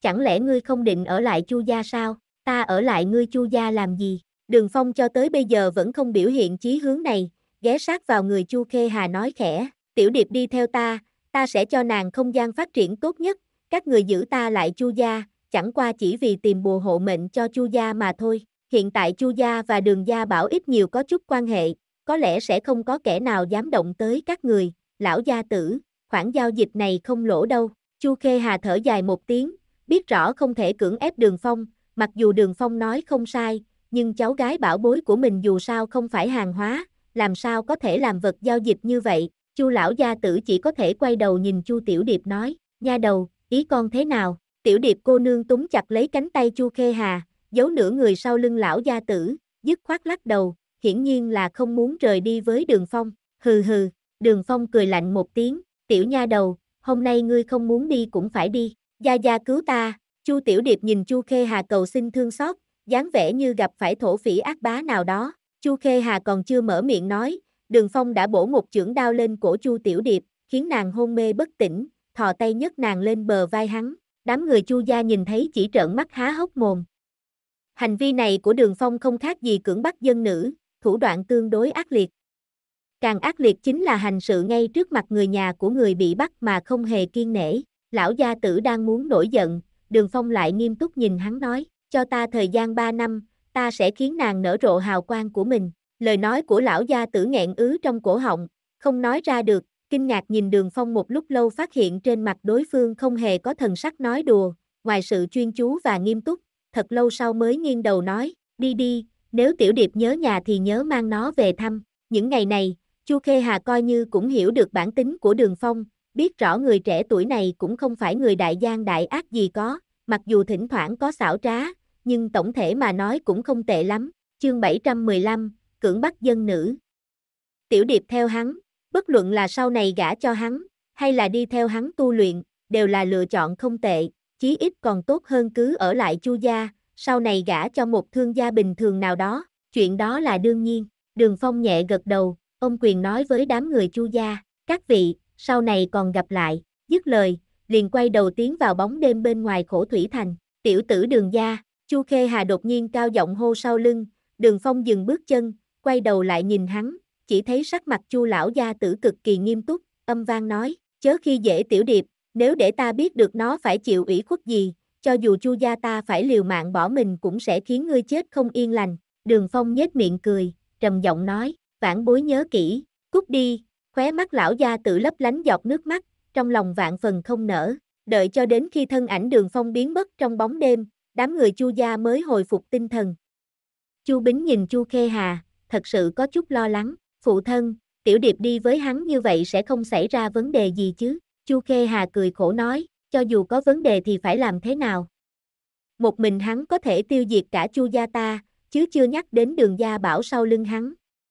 Nhưng tên này mặc dù tính tình không ra hồn, lại không hiểu kính già yêu trẻ, nhưng tính cách vẫn chính phái, tiểu điệp đi theo hắn, chỉ có thể nói Chu gia ta trèo cao rồi, gia gia, người khóc sao, Chu chính chân thật nhìn Chu Khê Hà mở miệng nói, vừa dứt lời, đã bị Chu Khê Hà gõ một cái vào đầu, Chu chính ôm đầu ủy khuất không thôi, đường phong vác Chu Tiểu Điệp trên vai chạy như bay về phương hướng đường Gia Bảo, trong lòng vô cùng kích động, cuối cùng hắn cũng đã đoạt được nhân tài bảo bối này, còn lại chỉ còn xem mình dạy dỗ nàng như thế nào, để nàng quen với tình cảnh của bản thân, lại chậm rãi dạy bảo ám khí thuật cho nàng. Đường Phong chưa từng trải qua chuyện này, trong lúc nhất thời không khỏi cảm thấy có chút gánh nặng đường xa, khổ thủy thành cách đường gia bảo khá xa, Đường Phong lại vác theo Chu Tiểu Điệp, thật sự bất tiện khi toàn lực chạy đi, đành phải hoãn lại tốc độ. Đường Phong chém xuống một đao cũng không nặng, chỉ là để Chu Tiểu Điệp tạm thời hôn mê mà thôi. Một đường buông ba, Chu Tiểu Điệp bị gió lạnh thổi qua, cuối cùng cũng tỉnh lại. Sau khi tỉnh lại, Tiểu Nha đầu cố gắng giãy dụa trên vai Đường Phong, ra sức đấm đá Đường Phong nhưng Đường Phong giống như đầu gỗ, hoàn toàn không quan tâm. Bây giờ nàng có nói gì cũng đã muộn, từ khi ngươi đáp ứng yêu cầu của ta để cho ta ra tay, nàng cũng đã là người của ta. Đường Phong vừa chạy vừa nói chuyện với Chu Tiểu Điệp, sau này ta kêu nàng làm gì, ngươi phải làm thế ấy, nếu ngoan ngoãn ta cũng sẽ không làm khó ngươi, nếu không nghe lời, thiếu gia lập tức đưa nàng quay về khổ thủy thành, tiêu diệt cả nhà Chu gia, hèn hạ vô sĩ, Chu Tiểu Điệp khóc ròng, tiểu cô nương mới 15 tuổi, trước giờ vẫn lớn lên ở Chu gia, bây giờ đột nhiên bị người ta cướp đi, vì vậy có chút không thích ứng, tùy nàng nói thế nào cũng được, đường phong mắt điếc tai ngơ, sau một khắc, đường phong liền cảm giác bờ vai mình tê rần, một cảm giác ấm áp từ nơi ấy truyền tới. Hiển nhiên Chu Tiểu Điệp tức giận mắng hắn không có hiệu quả, trong cơn phẫn nộ liền cắn hắn một cái, vết cắn này rất nặng, thân thể đường phong mình đồng da sắt, nếu vận công căn bản không tổn thương được đến hắn, ngược lại hàm răng của Chu Tiểu Điệp có thể vỡ vụn trong nháy mắt, yêu thương nhân tài bảo bối này không kịp, làm sao đường phong nở vận công. Chỉ có thể cố gắng chịu đựng, để mặc Chu Tiểu Điệp phát tiết ủy khuất và lửa giận trong lòng mình, máu tươi chảy ra từ hàm răng Chu Tiểu Điệp. Hương vị tanh tanh ấm áp quanh quẩn trên đầu lưỡi, làm cho nàng choáng váng đầu óc, thiếu chút nữa không nhịn được buông lỏng ra, nhưng nghĩ tới đường phong bất chấp ý nguyện cướp mình đi, Chu Tiểu Điệp mặc kệ, tiếp tục cắn xuống, thời gian nửa chén trà trôi qua, Chu Tiểu Điệp mới buông hàm răng ra, hung hăng nhổ ra vài ngụm máu, chà sát máu đen đầy miệng lên quần áo đường phong, hết giận rồi chứ, đường phong quay đầu cười nhìn nàng, Chu Tiểu Điệp phòng mang như con ếch, trên đôi mắt ngập tràn nước mắt lung linh, hàng lông mi thật dài lay động, nhẹ giọng hỏi, ngươi không đau sao, nói nhảm, đương nhiên đau rồi, đường phong khẽ mỉm cười, nhưng chỉ cần ngươi có thể hả giận, cắn nhiều hơn nữa cũng không sao, lời này khiến trái tim Chu Tiểu Điệp bất giác run rẩy. Thực lực của người nam nhân này khủng bố như thế nào Chu Tiểu Điệp biết rất rõ, nếu hắn ra tay đối phó mình, thậm chí chỉ cần thổi một hơi là xong. Người có thực lực cao thâm như vậy bình thường đều rất khó tiếp cận, nhưng hắn lại hoàn toàn khác, chẳng những không trách cứ hành động vô lễ của mình, ngược lại còn lộ ra cảm giác cưng chiều.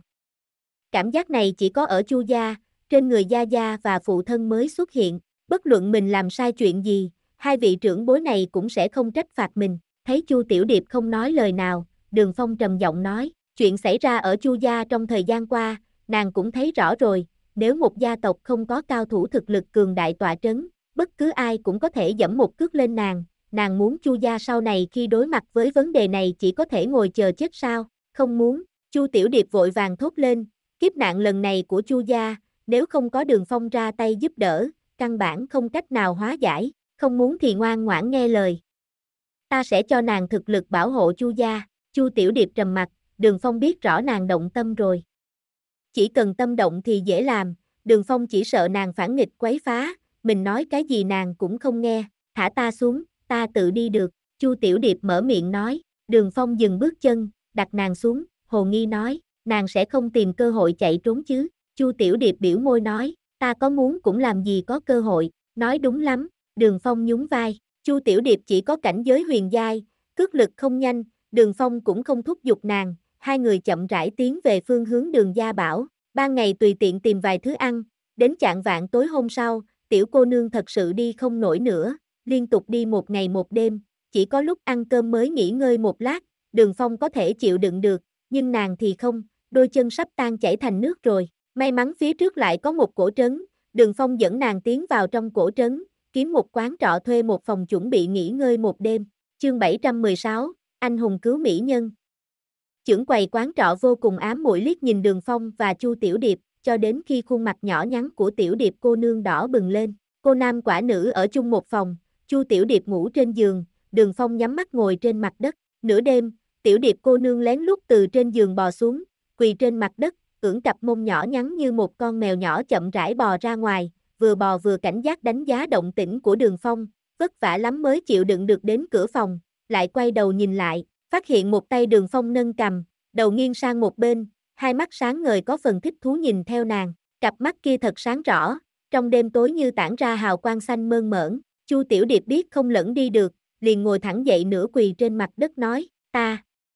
ta muốn đi nhà xí, lời này nói ra rất không có cơ sở, ngay cả Chu Tiểu Điệp cũng không tin, đi thôi, đường phong mỉm cười nhìn nàng, vất vất tay với nàng, Chu Tiểu Điệp như tỉnh mộng, vội vàng đứng dậy, mở cửa phòng, giống như đoạt mệnh chạy vội ra ngoài, ra khỏi quán trọ, Chu Tiểu Điệp bất chấp những thứ khác, nâng váy lên, nhanh như chớp chạy ra ngoài cổ trấn, vừa chạy vừa quay đầu lại nhìn, sợ Đường Phong đuổi theo. Mặc dù Tiểu Điệp cô nương không ghét Đường Phong, nhưng thật sự có chút tức giận. Đường Phong chuyên quyền độc đoán bắt nàng đi như vậy, đương nhiên nàng không cam lòng, nàng muốn chạy trốn, thoát khỏi khống chế của người kia, nắm chặt vận mệnh của mình.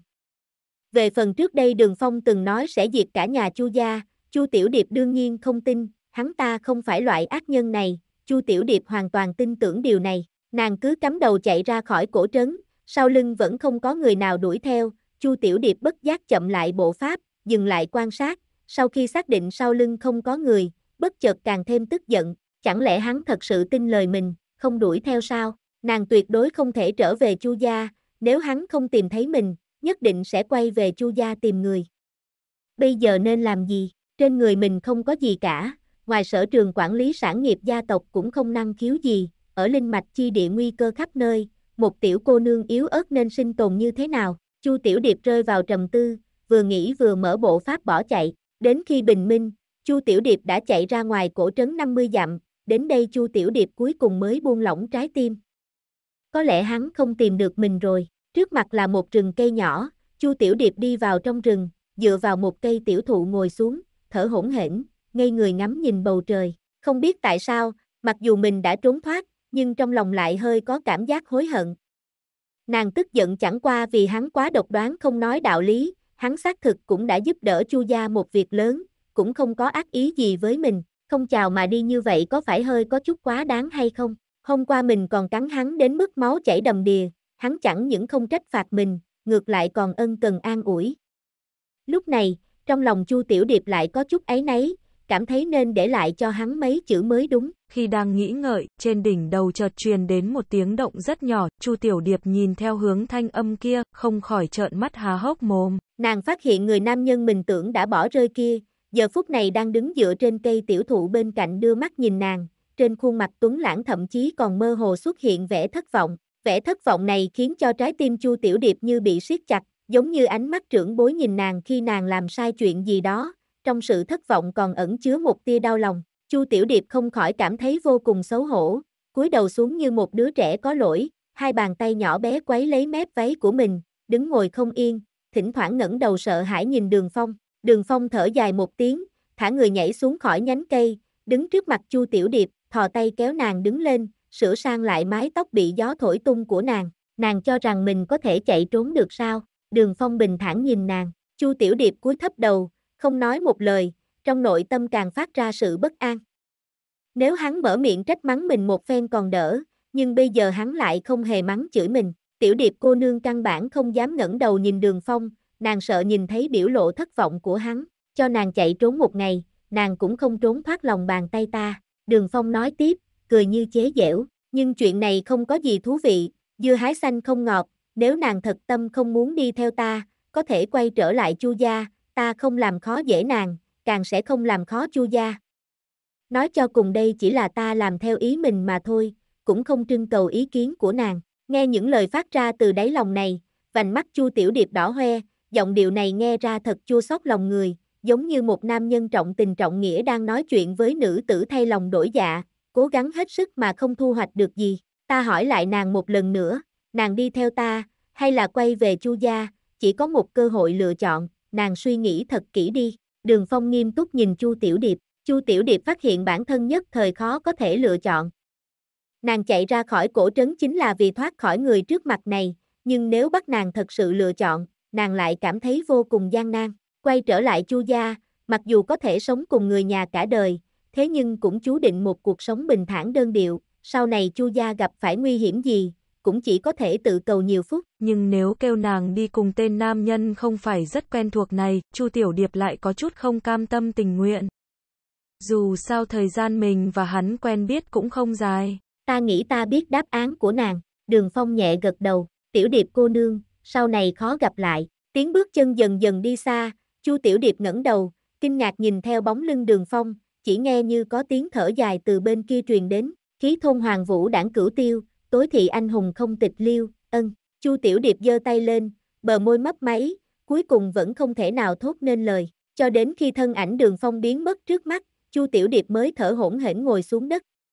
Trong nháy mắt vừa rồi trong đầu nàng xẹt qua ngàn vạn ý niệm, khiến cả người mơ mơ màng màng, đột nhiên khiến nàng không hiểu hiện tại bản thân muốn làm cái gì. Chu Tiểu Điệp hoàn toàn mê mang, ngồi xuống rễ cây ngơ ngẩn hơn nửa canh giờ vẫn không hoàn hồn, cho đến khi bên cạnh truyền đến tiếng bước chân khác thường, Chu Tiểu Điệp mới bị kinh động, mừng rỡ vạn phần ngẩng đầu lên, đang chuẩn bị mở miệng nói, thần sắc lại sững sờ. Nàng phát hiện người đi tới bên cạnh mình không phải đường phong mà là ba nam nhân xa lạ. Ba nam nhân này mê đắm nhìn mình, trên mặt hiện lên nụ cười hèn mọn bỉ ổi, người chính giữa mặt đầy thịt mỡ, ưỡn bụng, con mắt nheo thành một khe hở, xoa xoa tay nói, tiểu cô nương, chỉ có một mình nàng sao, Chu Tiểu Điệp cuốn quyết đứng lên, hoảng sợ nhìn đối phương, vừa lui về phía sau vừa nói, không phải, ta đang đợi người, tên nam nhân bụng lớn cười nói, có phải đang đợi ca ca này hay không, hắn vừa nói, vừa phất tay với hai người khác, hai người kia nhanh chóng đi đến sau lưng Chu Tiểu Điệp, bao vây nàng ở giữa,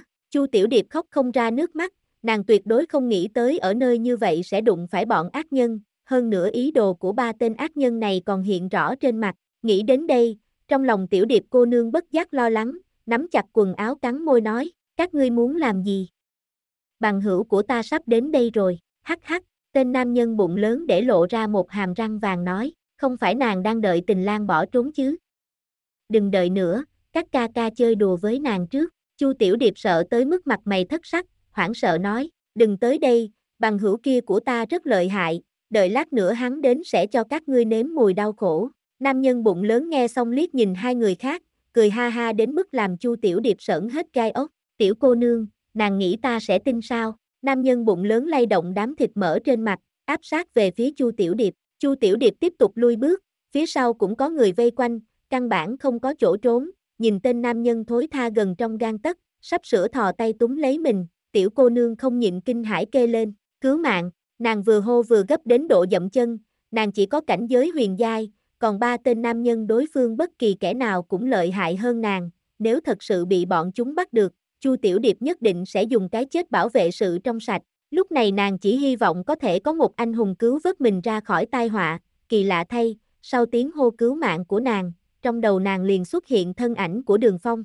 kỳ tích luôn xuất hiện, nhìn thấy móng vuốt của tên nam nhân bụng to sắp đụng vào Chu Tiểu Điệp, một tiếng xé gió từ bên cạnh lao tới, tay tên nam nhân bụng to giống như đụng phải bàn ủi, vội rụt nhanh về, miệng phát ra tiếng rú kinh hãi như mổ heo, vù vù vù, tiếng vang liên tiếp truyền đến, Chu Tiểu Điệp chỉ nhìn thấy ba tên ác nhân bên cạnh mình giống như cây lúa bị cắt, đồng loạt té xuống, máu tươi trong miệng cùng phun, nhuộm đỏ cả y phục. Trong nháy mắt, nguy cơ được giải trừ.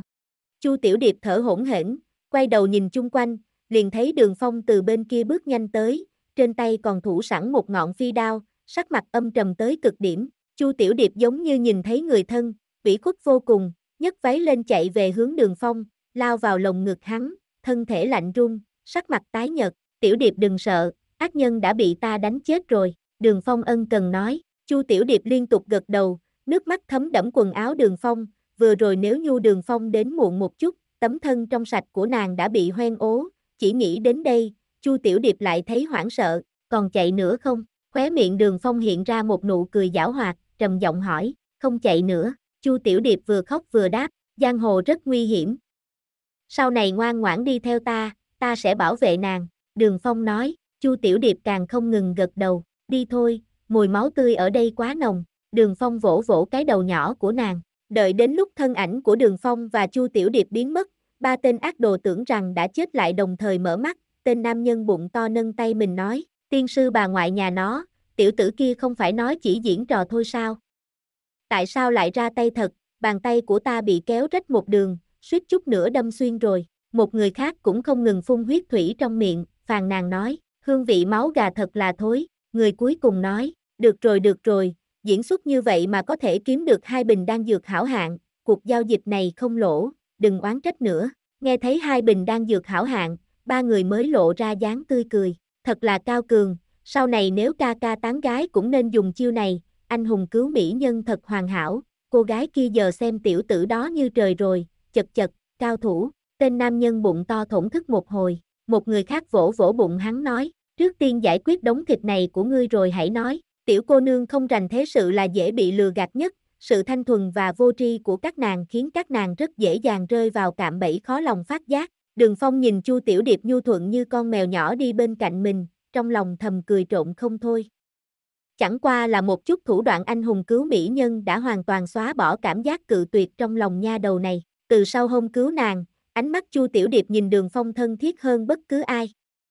Ngoại trừ hai ngày đầu có chút sợ hãi và trầm mặc, theo thời gian, tiểu cô nương đã khôi phục lại bản tính hoạt bát nhanh nhẹn, ngươi dẫn ta tới đường gia là muốn dạy ta tu luyện ám khí sao? Chu Tiểu Điệp tốt xấu gì cũng là người cực kỳ thông minh, Đường Phong coi trọng đôi tay nàng như vậy, trước đó trước mặt nàng lại tận lực biểu diễn quy lực của ám khí, đương nhiên có thể đoán được một ít, đúng vậy, nhưng tới đường gia chỉ là tiện đường, mục đích cuối cùng của chúng ta không phải đường gia bảo, phía trước có một dòng sông rộng hơn vài chục trượng cản đường, đường phong vẫy tay gọi Chu Tiểu Điệp, nắm lấy bờ eo nàng, mang theo nàng bay sang bờ đối diện, Chu Tiểu Điệp không hề ngại ngùng ôm lấy cổ đường phong, đưa lưng về phía hắn, mái tóc tung bay, bám vào khuôn mặt hắn, nheo mắt hỏi, nói như vậy ngoại giới đồn đãi ngươi đến từ thế tục, tin tức này có thật không, là thực.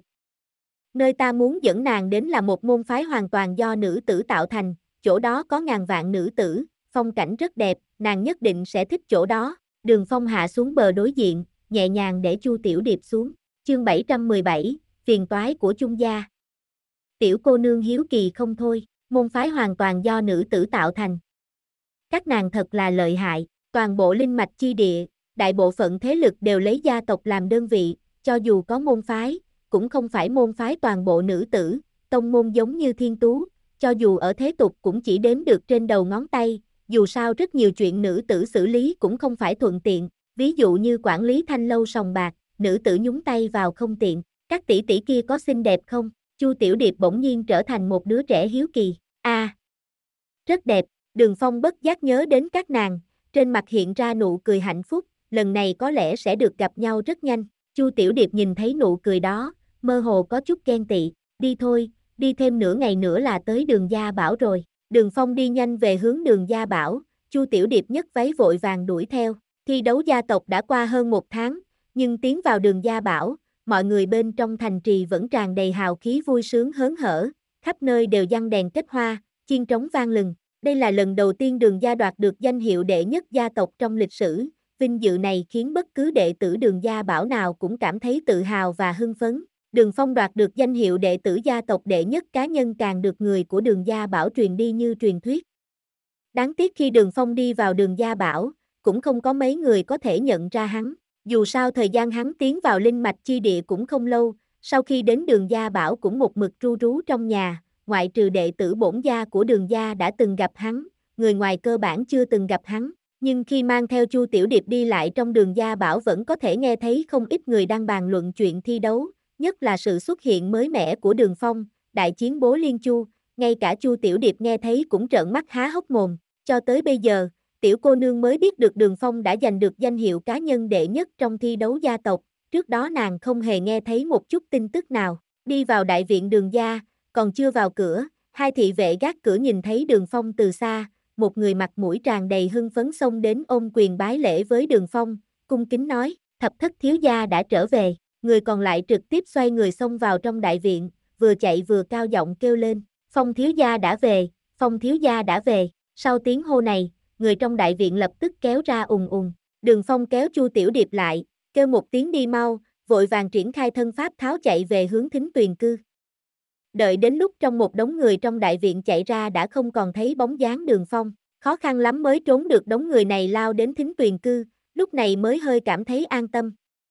Nếu bị những đệ tử trong gia tộc kia vây quanh đoán chừng cả ngày đường phong cũng không thoát thân ra được. Ánh mắt Chu Tiểu Điệp nhìn đường phong lại thay đổi một chút hương vị, trong đôi mắt lóe lên sự sùng bái và tự hào vô hạn. Tiểu cô nương đang trong tuổi tác thích truy tìm anh hùng trẻ tuổi, vì anh hùng vốn xa vời vô cùng lúc này lại ở trước mắt mình, làm sao nàng không mê mang cho được. Trong thính tuyền cư, Diệp Dĩ Khô và Đường Đỉnh Thiên đang thân mật rút vào nhau, cũng không biết hai vợ chồng bọn họ đang tâm sự cái gì, tình cảm giàu dạt đến mức không phát giác có người xâm nhập thính tuyền cư cư, đợi đến khi nhìn thấy Đường Phong và Chu Tiểu Điệp dắt tay nhau tiến vào, Diệp Dĩ Khô vội vàng thoát khỏi lồng ngực Đường Đỉnh Thiên, sắc mặt đỏ như quả táo, Đường Đỉnh Thiên cũng xấu hổ, nhưng dù gì cũng là một nam nhân, da mặt tương đối dày, chỉ vội ho một tiếng liền khôi phục như thường, phụ thân mẫu thân, hài nhi trở về rồi, Đường Phong vội ho một tiếng, trong lòng cũng cảm thấy thật sự có lỗi với cha mẹ mình.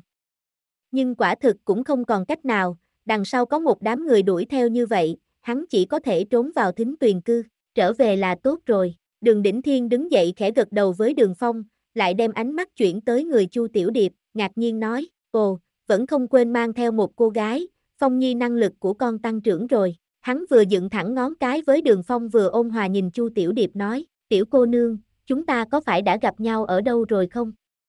Ta thấy cô rất quen mặt, Chu Tiểu Điệp lén lút né tránh người sau lưng Đường Phong, Diệp Dĩ khô nhéo vào eo Đường Đỉnh Thiên, trừng mắt liếc nhìn hắn, lúc này mới nói với Đường Phong nói, Phong Nhi con dẫn vị cô nương này vào nhà trước đi, hai đứa đi đường cũng mệt rồi, dạ, Đường Phong nhẹ gật đầu, dẫn Chu Tiểu Điệp như con gà con từ sau lưng ra, giới thiệu với nàng, đây là phụ mẫu ta, sợ cái gì, Chu Tiểu Điệp cười ngọt ngào với Diệp Dĩ Khô, rụt rè hành lễ nói, Tiểu Điệp bái kiến bá phụ bá mẫu, ngoan lắm, tiến lại đây, Diệp Dĩ Khô liên tục ngoắt tay gọi Chu Tiểu Điệp, các trưởng bối đều ưa thích đứa trẻ hiểu chuyện, Diệp Dĩ Khô thấy dáng người Chu Tiểu Điệp cũng rất đẹp, lại hiểu lễ tiết, xem ra là người có tri thức hiểu lễ nghĩa, làm sao không thích cho được, bà ta còn tưởng rằng Đường Phong lại tìm cho mình một người vợ. Vào phòng, Diệp Dĩ Khô để Đường Phong dẫn Chu Tiểu Điệp ngồi xuống trước, còn mình vội vàng đi chuẩn bị nước tắm cho hai người, ở thính tuyền cư không có người hầu và nha hoàng sai việc, mọi thứ đều được Diệp Dĩ Khô đích thân làm.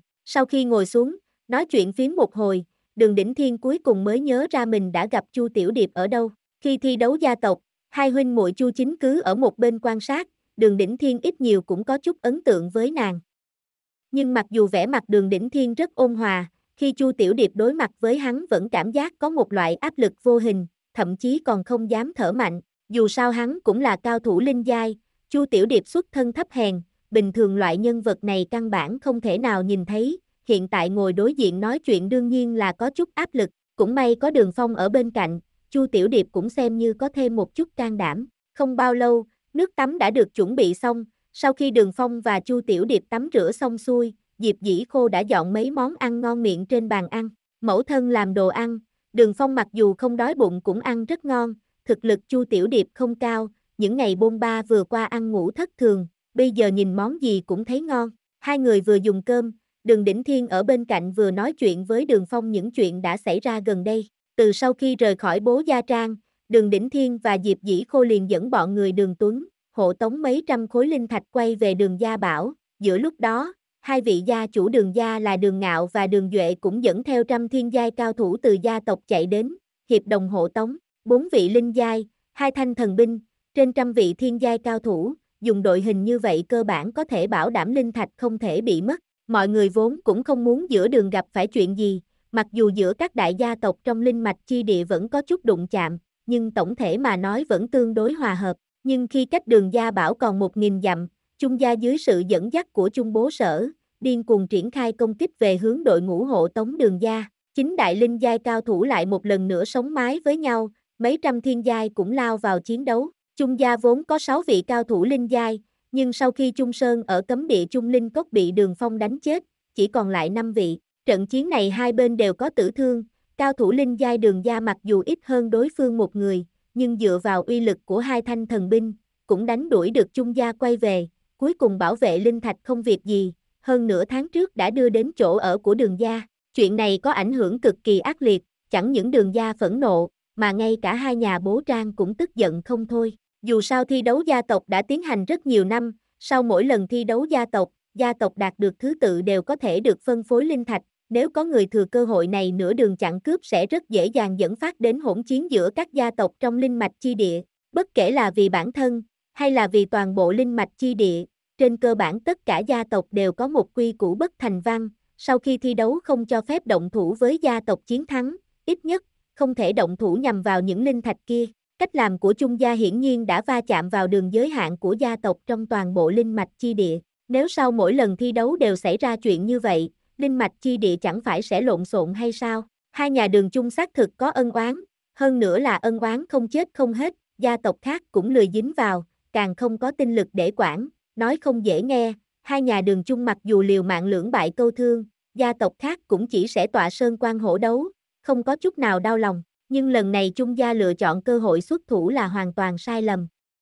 Nhằm vào sự kiện ác liệt lần này, Bố Trường Hải và Trang Chính Dương định liên hợp tất cả gia tộc có thực lực ở Linh Mạch Chi Địa, chuẩn bị nghiên cứu thảo luận nên xử lý Trung gia như thế nào. Tóm lại một câu, Trung gia lần này gặp đại phiền toái rồi. Mặc dù nói như vậy, nhưng Đường Phong vẫn cảm thấy có chút không đã ghiền, dù sao đồ vật của nhà mình bị người khác nhòm ngó.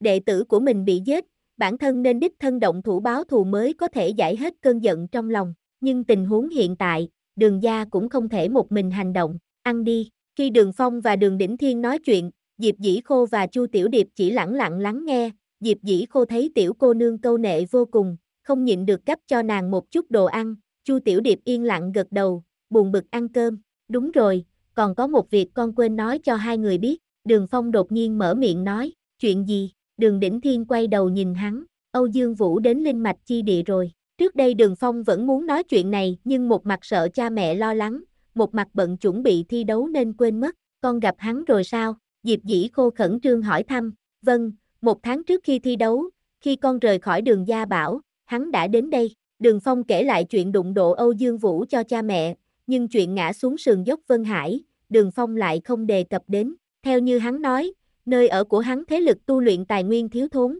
vốn muốn chủ định nhắm vào linh mạch chi địa, bản thân hắn tới đây chẳng qua cũng là tiên phong, thăm dò tình huống ở đây như thế nào, Đường Phong rủ rỉ nói, thoáng chốc đường đỉnh thiên và Diệp Dĩ Khô cũng nhíu mày, sau đó thì sao, đường đỉnh thiên hỏi, sau đó con thoát khỏi hắn, cũng không biết hiện giờ hắn đang ở đâu, đường Phong nói tiếp, nhưng chuyện này quan hệ trọng đại, con cảm thấy vẫn phải nói với hai người một tiếng, Diệp Dĩ Khô trầm giọng nói, xem ra, huyết vụ thành chuẩn bị xuống tay với linh mạch chi địa rồi.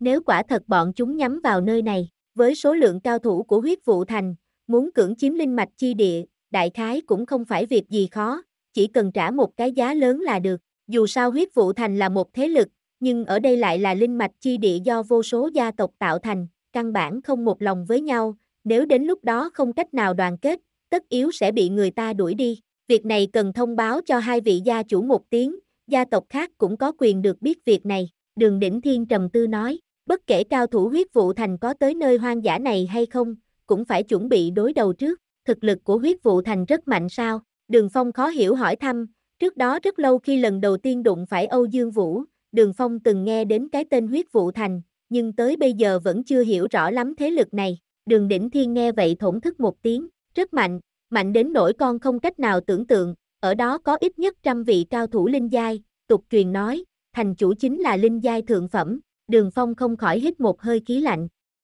Cộng tất cả cao thủ linh giai của gia tộc ở linh mạch chi địa này, không biết có lên tới con số mấy chục người hay không, hơn nữa hai người thực lực mạnh nhất, bố Trường Hải và Trang Chính Dương cũng chỉ là linh giai trung phẩm mà thôi. Trên linh giai, tiến thêm một bước khó hơn lên trời, có thể nói sức chiến đấu của một linh giai trung phẩm ít nhất cũng bằng 7-8 linh giai hạ phẩm cộng lại. Về phần linh giai thượng phẩm, thực lực căn bản không cách nào đánh giá, trong nháy mắt có thể dời sông lấp biển, biển cả biến ruộng dâu, thủ đoạn của bọn họ căn bản đã vượt quá cực hạn tưởng tượng. Huyết vụ thành làm việc rất tà dị, vì đạt được mục đích không từ thủ đoạn nào, người tụ tập bên trong phần lớn đều vô cùng độc ác, làm việc toàn dựa vào yêu thích của bản thân.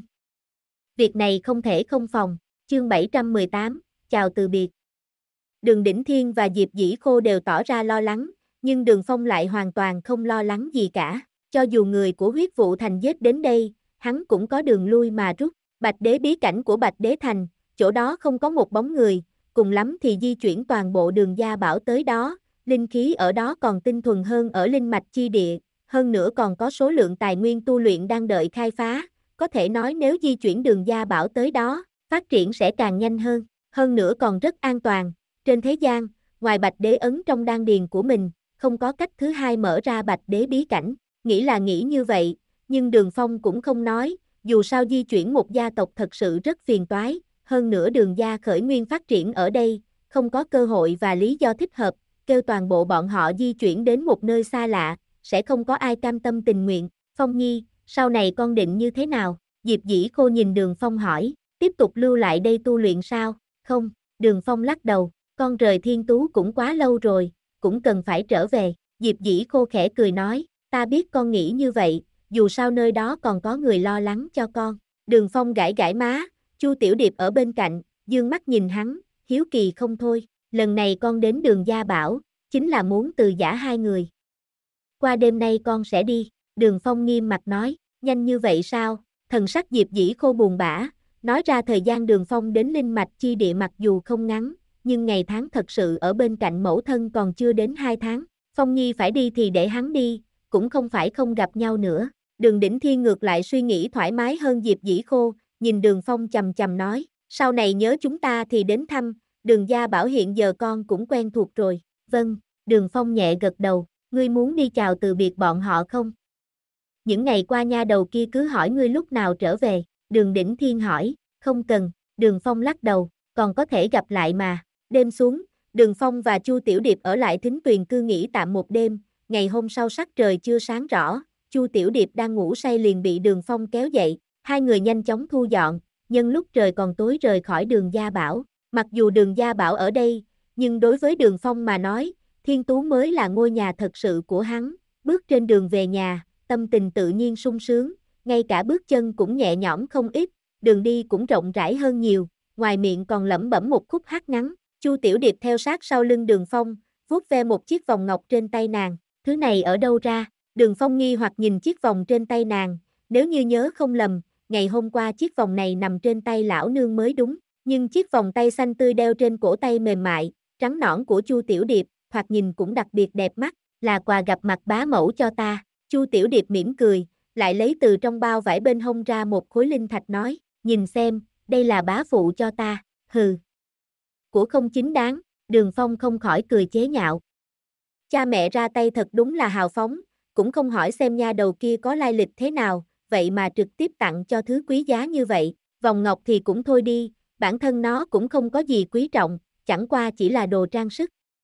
Đối với người tu luyện chỉ là thứ vô dụng, nhưng khối linh thạch cấp thấp kia lại là bảo bối vô cùng, đệ tử đường gia bình thường đều rất hiếm khi nhìn thấy thứ này, đưa linh thạch cho ta, ta sẽ bảo quản cho nàng, đường phong ngoắc ngoắc ngón tay với nàng, chu tiểu điệp lập tức biểu môi, ủy khuất nhìn đường phong, sóng động huỳnh quang trong mắt vô cùng đáng yêu, sắc đẹp không hấp dẫn được ta đâu, đường phong vẫn bình thản, thất phu vô tội, mang ngọc có tội, thực lực hiện tại của nàng thấp như vậy, cầm linh thạch cũng vô dụng, sẽ chỉ chọc ra phiền toái, sau này cần đến ta đương nhiên sẽ đưa cho nàng. A, à, Chu Tiểu Điệp hoàn toàn không muốn đưa linh thạch cho Đường Phong, lại hiếu kỳ hỏi thăm, đúng rồi, nghe nói đệ nhất thi đấu cá nhân được ban thưởng một khối linh thạch đỉnh cấp, hình dạng như thế nào, muốn nhìn không? Muốn, muốn, Chu Tiểu Điệp ra sức gật đầu, Đường Phong dí vào trán nàng, không cho nàng xem. Chu Tiểu Điệp đang tràn đầy chờ mong lập tức hóa thành ủy khuất, tức giận đuổi theo Đường Phong đấm đá một hồi, đi trọn vẹn ba ngày, cuối cùng hai người mới đến nơi. Trước mặt là cửa vào linh mạch chi địa lần đầu tiên Đường Phong tiến vào, một phần sáng khác thường đứng sừng sững giữa không trung. Đường Phong còn nhớ rõ, khi mình vừa đặt chân đến đây, đã gặp tập kích của Trung Lộ, nháy mắt mấy tháng đã trôi qua, Chu Tiểu Điệp nhìn vần sáng kia, không khỏi khẩn trương nuốt nước miếng. Mọi người trong linh mạch chi địa đều biết, đi qua khe hở này, sẽ bước vào thế tục, nhưng không có việc gì ai chạy ra bên ngoài làm gì. Linh khí của linh mạch chi địa dồi dào như vậy, căn bản thế tục không thể so sánh được, đối với người của linh mạch chi địa mà nói, thế tục quả thực là dơ bẩn và hỗn loạn. Các trưởng bối hay nói chuyện giật gân lại cộng thêm quan niệm thâm căn cố đế của người xuất thân từ linh mạch chi địa, làm cho bình thường bọn họ sẽ không rời khỏi nơi đây tiến vào thế tục, đừng sợ, đi theo ta là được. Đường Phong nhìn ra vẻ lo lắng của Chu Tiểu Điệp, ôm nhu an ủi một câu, được, đi thôi. Đường Phong bước một chân vào trong vòng sáng mờ mịt, sau một khắc, cảnh tượng trước mắt như biến ảo, khi lấy lại tinh thần đã đã một sơn động u ám, quay đầu lại quan sát, nhìn thấy Chu Tiểu Điệp từ trong linh mạch chi địa xông ra.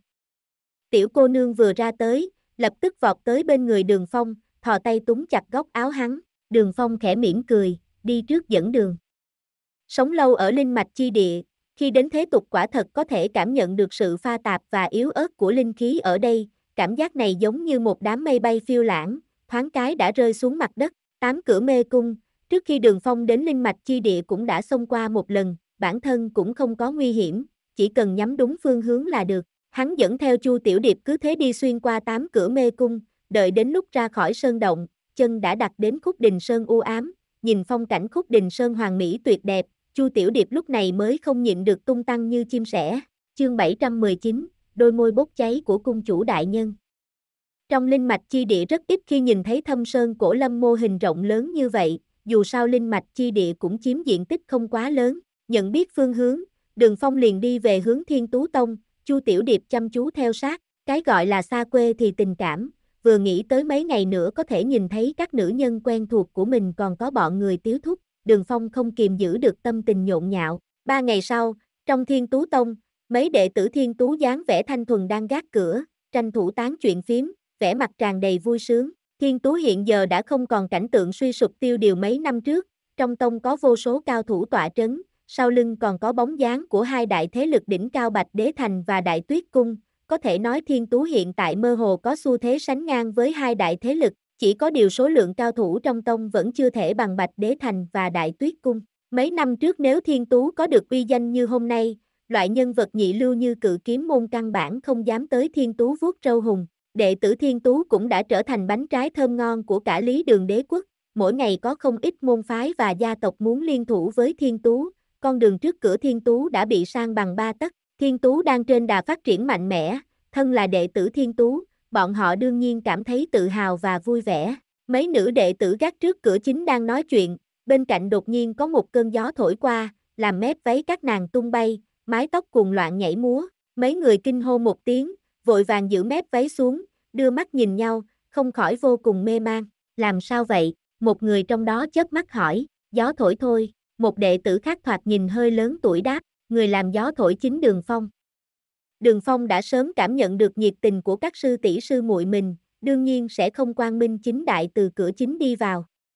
Một tay túm lấy Chu Tiểu Điệp, triển khai thân pháp trực tiếp lóe vào từ cửa chính, nhanh chóng phóng về hướng Yên Liễu Các, trong mấy giây đã tới phía trước Yên Liễu cát Đường Phong nhẹ nhàng buông Chu Tiểu Điệp ra, trong lòng đầy kích động và hưng phấn, cất bước đi vào. Trong Yên Liễu cát Bảo Nhi đang cúi đầu quét rác, đột nhiên phát hiện trước mặt có một người, ngẩng đầu nhìn lên, cặp mắt bất giác hoen đỏ, tiểu nha đầu, mấy tháng không gặp, càng ngày càng xinh đẹp, đường phong dùng ngón tay vuốt ve cầm nàng, nước mắt Bảo Nhi lập tức chảy xuống, rung giọng nói, thiếu gia, a, phong thiếu trở về rồi, tiếu thúc đang ngồi sổn súc miệng bên cạnh, nghe vậy dương mắt nhìn đường phong, trong miệng ấp úng không gọi ra tiếng, mộng nhi đang cầm khăn mặt trên tay cho tiểu manh manh rửa mặt, nghe thấy động tĩnh bên đó liền quay đầu lại nhìn, thân thể không nhịn được rung lên, cả người giống như bị hóa đá. Đường Phong vỗ vỗ đầu Bảo Nhi, vẻ mặt tươi cười, giơ tay chào tứ nương đang vuốt vuốt mái tóc, chào tứ nương, Phong thiếu gia về rồi, tứ nương vui mừng cười nói, về rồi,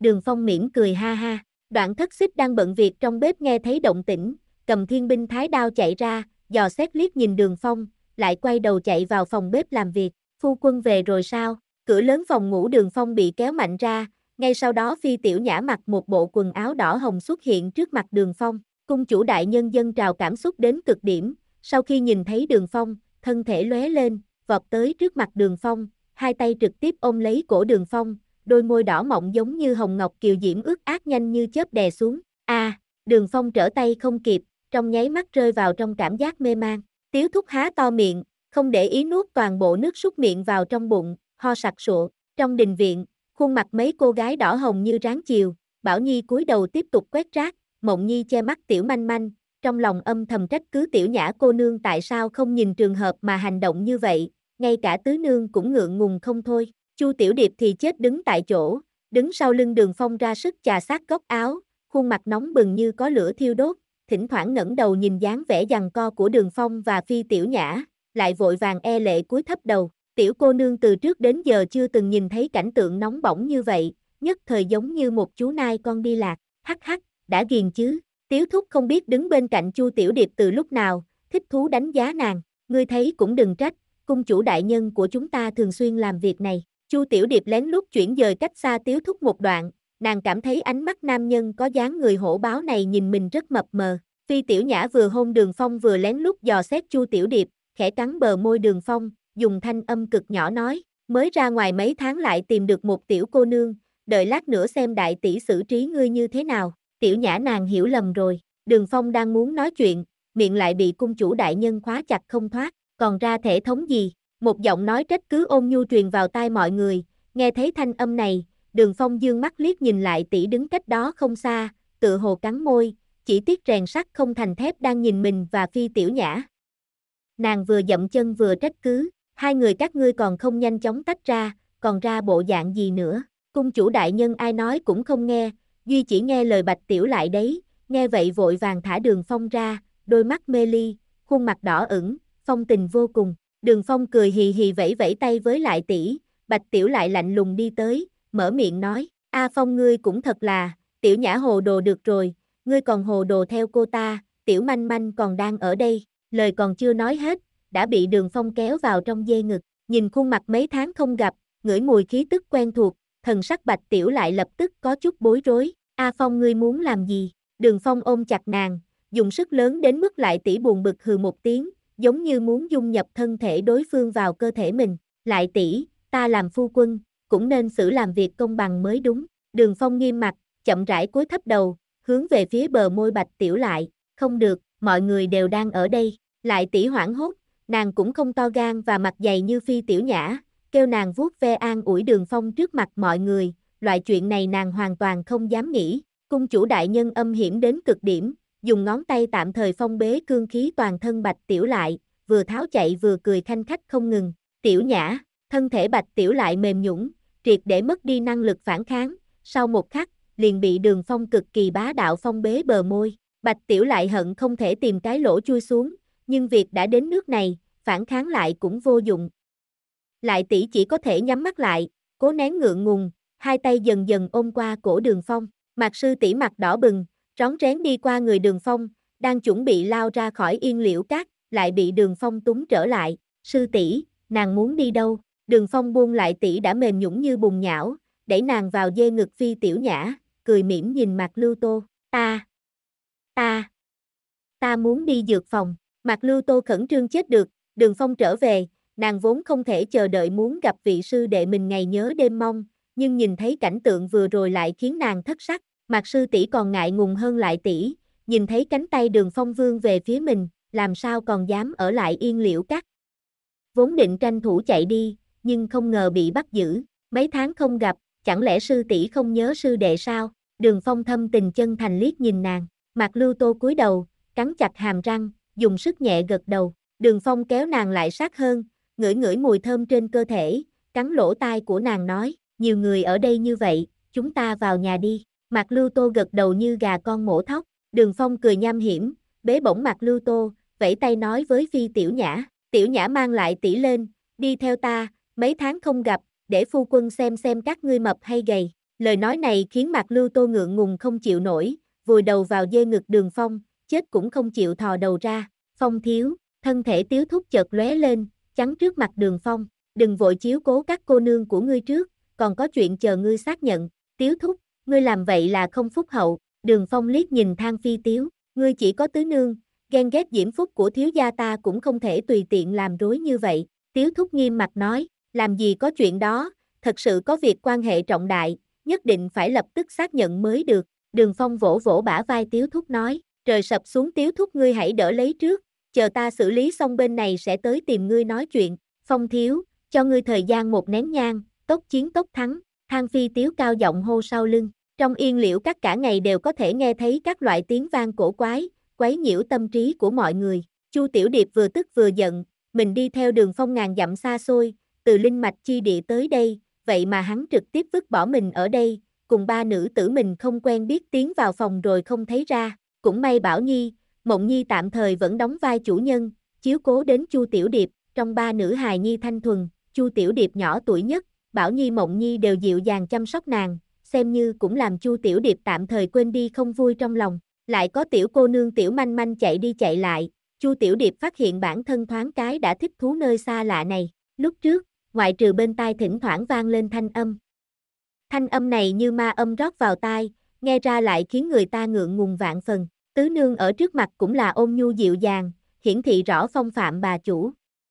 Khi ở cùng Chu Tiểu Điệp cũng đã lòng vòng tìm hiểu được tình huống của nàng, sau khi biết được tiểu cô nương này xuất thân từ linh mạch chi địa, mọi người lại ngạc nhiên một hồi. Tình huống trong linh mạch chi địa, tất cả mọi người trong yên liễu các đều không biết, đương nhiên muốn nghe nhiều một chút. Chu Tiểu Điệp cũng vui vẻ hòa thuận trả lời câu hỏi của mọi người. Mãi cho đến lúc chạng vạn tối, cửa phòng đường phong cuối cùng mới mở ra, đường phong hăng hái, bước đi mạnh mẽ từ bên trong đi ra, ba nữ tử hai gò má đỏ bừng theo đuôi phía sau, tương tư mấy tháng khiến mấy người trong phòng thỏa thích phóng thích ra nỗi nhớ trong lòng và khát khao của cơ thể. Sau khi mưa móc, bọn người lại tỉ càng trở nên xinh đẹp mê hoặc. Đoạn thúc sớm đã chuẩn bị xong một bàn đồ ăn, còn có canh đại bổ. Tất cả mọi người trong yên liễu các ngồi trước bàn, tiểu manh manh ngồi trên đầu gối đường phong, vừa ăn cơm vừa nói chuyện với bọn người tiếu thúc. Sau một hồi tâm tình, đường phong cũng dần dần dần hiểu được những ngày tháng phát triển của thiên tú sau khi mình rời đi. Khi mình rời đi, trong thiên tú tông chỉ có hai vị thiên giai cao thủ,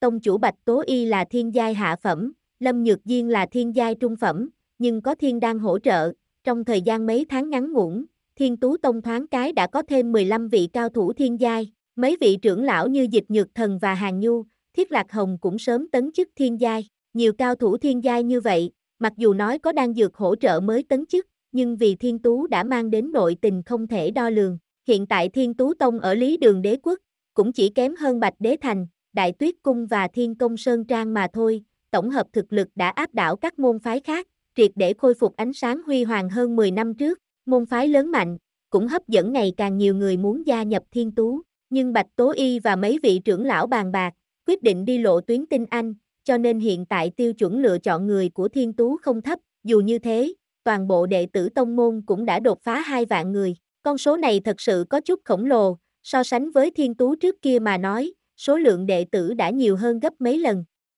Đệ tử nhiều, nhu cầu vật tư tu luyện cũng nhiều hơn.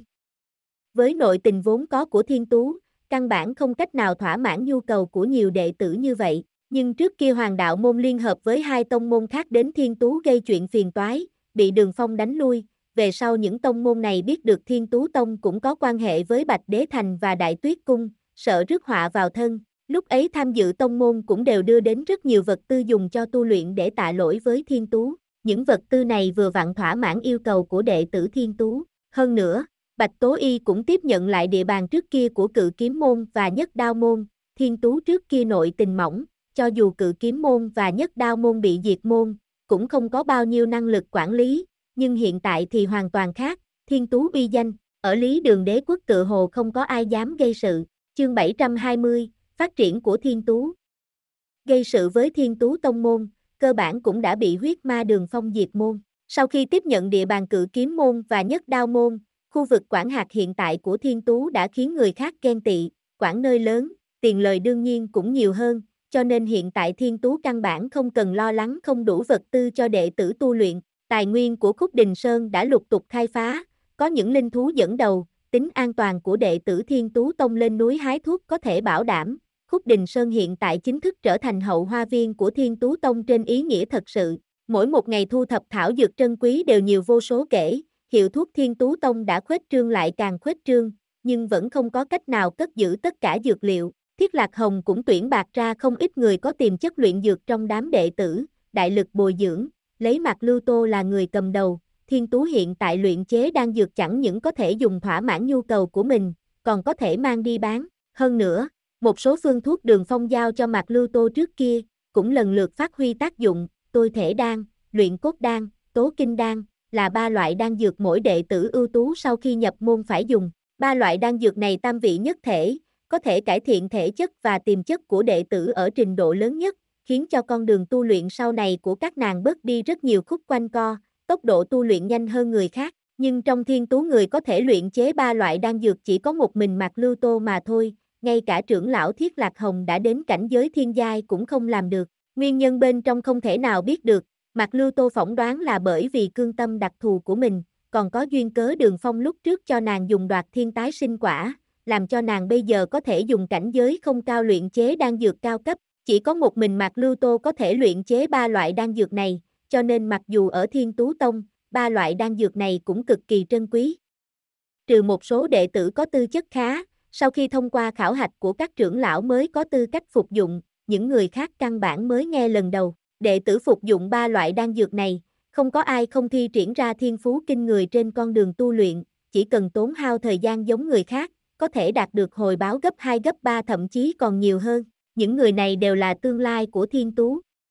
sau này thiên tú có lớn mạnh, tất cả đều dựa vào cố gắng của các nàng. Đáng tiếc cho dù là ta, khi luyện chế những đan dược này cũng sẽ thất bại, lãng phí không ít dược liệu trân quý. Mạc Lưu Tô có chút tự trách nói, khi ở trên giường, Đường Phong cũng đã cảm giác được, mấy tháng không gặp, Mạc Sư tỷ xác thực gầy đi một chút, có lẽ vì mấy tháng này không ngừng luyện dược, đừng để ý, nếu như không có muội, căn bản không có ai có thể luyện chế ra những đan dược kia, muội chính là công thần lớn nhất của Thiên Tú. Phi Tiểu Nhã mở miệng an ủi Mạc Lưu Tô, sư tỷ, cho nàng xem đồ tốt. Đường Phong hưng phấn đứng dậy, đưa Tiểu Manh Manh cho Bạch Tiểu lại, đi xuống bàn ăn, vẫy tay, một đại đỉnh màu sắc cổ xưa, tạo thế chân vạc liền hiện ra trước mặt mọi người. Đại đỉnh này vừa nhìn cũng biết không phải là phàm vật, xung quanh điêu khắc vô số hình vẽ bông hoa không biết tên, đại đỉnh vừa xuất hiện, trong chớp mắt, mọi người thậm chí có thể ngửi được một mùi thơm kỳ dị, mùi thơm này không khỏi làm người ta cảm thấy khoan khoái dễ chịu,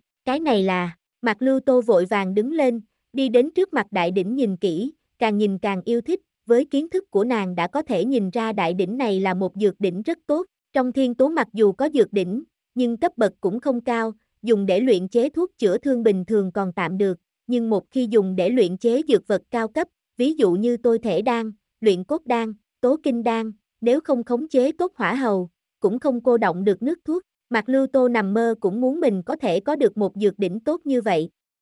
Trong khoảng thời gian này Thiên Tú Tông dưới hiệu lệnh của Bạch Tố Y đã tìm kiếm khắp nơi trong lý đường đế quốc, nhưng vẫn không có tin tức. Dù sao dược đỉnh tốt tông môn nào cũng cần, loại bảo bối sinh tài này không có ai lấy ra bán cả. Bách hoa dược vương đỉnh, Chu Tiểu Điệp nhìn chầm chầm đại đỉnh trước mặt, thốt lên, ồ, nàng biết cái này sao? Đường Phong kinh ngạc nhìn Chu Tiểu Điệp, đương nhiên biết, Chu Tiểu Điệp nghi hoặc nhìn Đường Phong, tại sao ngươi lại có thứ này?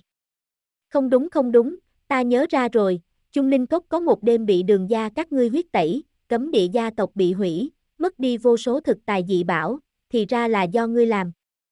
Bách hoa dược vương đỉnh này cũng là lấy trộn từ trong cấm địa hay sao, như thế nào gọi là lấy trộn, đường phong bất giác lật mặt, cầm đồ vật của cừu nhân không gọi là trộn, Trung Linh Cốc là cái gì, tiếu thúc ở bên cạnh hiếu kỳ không thôi. Đường Phong ngắn gọn kể lại ân oán giữa đường Gia Bảo và Trung Gia, cũng kể rõ tình huống hôm đó, lúc này mọi người mới hiểu được rốt cuộc đã xảy ra chuyện gì. Bách Hoa Dược Vương Đỉnh có thể xem là dược đỉnh tốt nhất khắp linh mạch chi địa.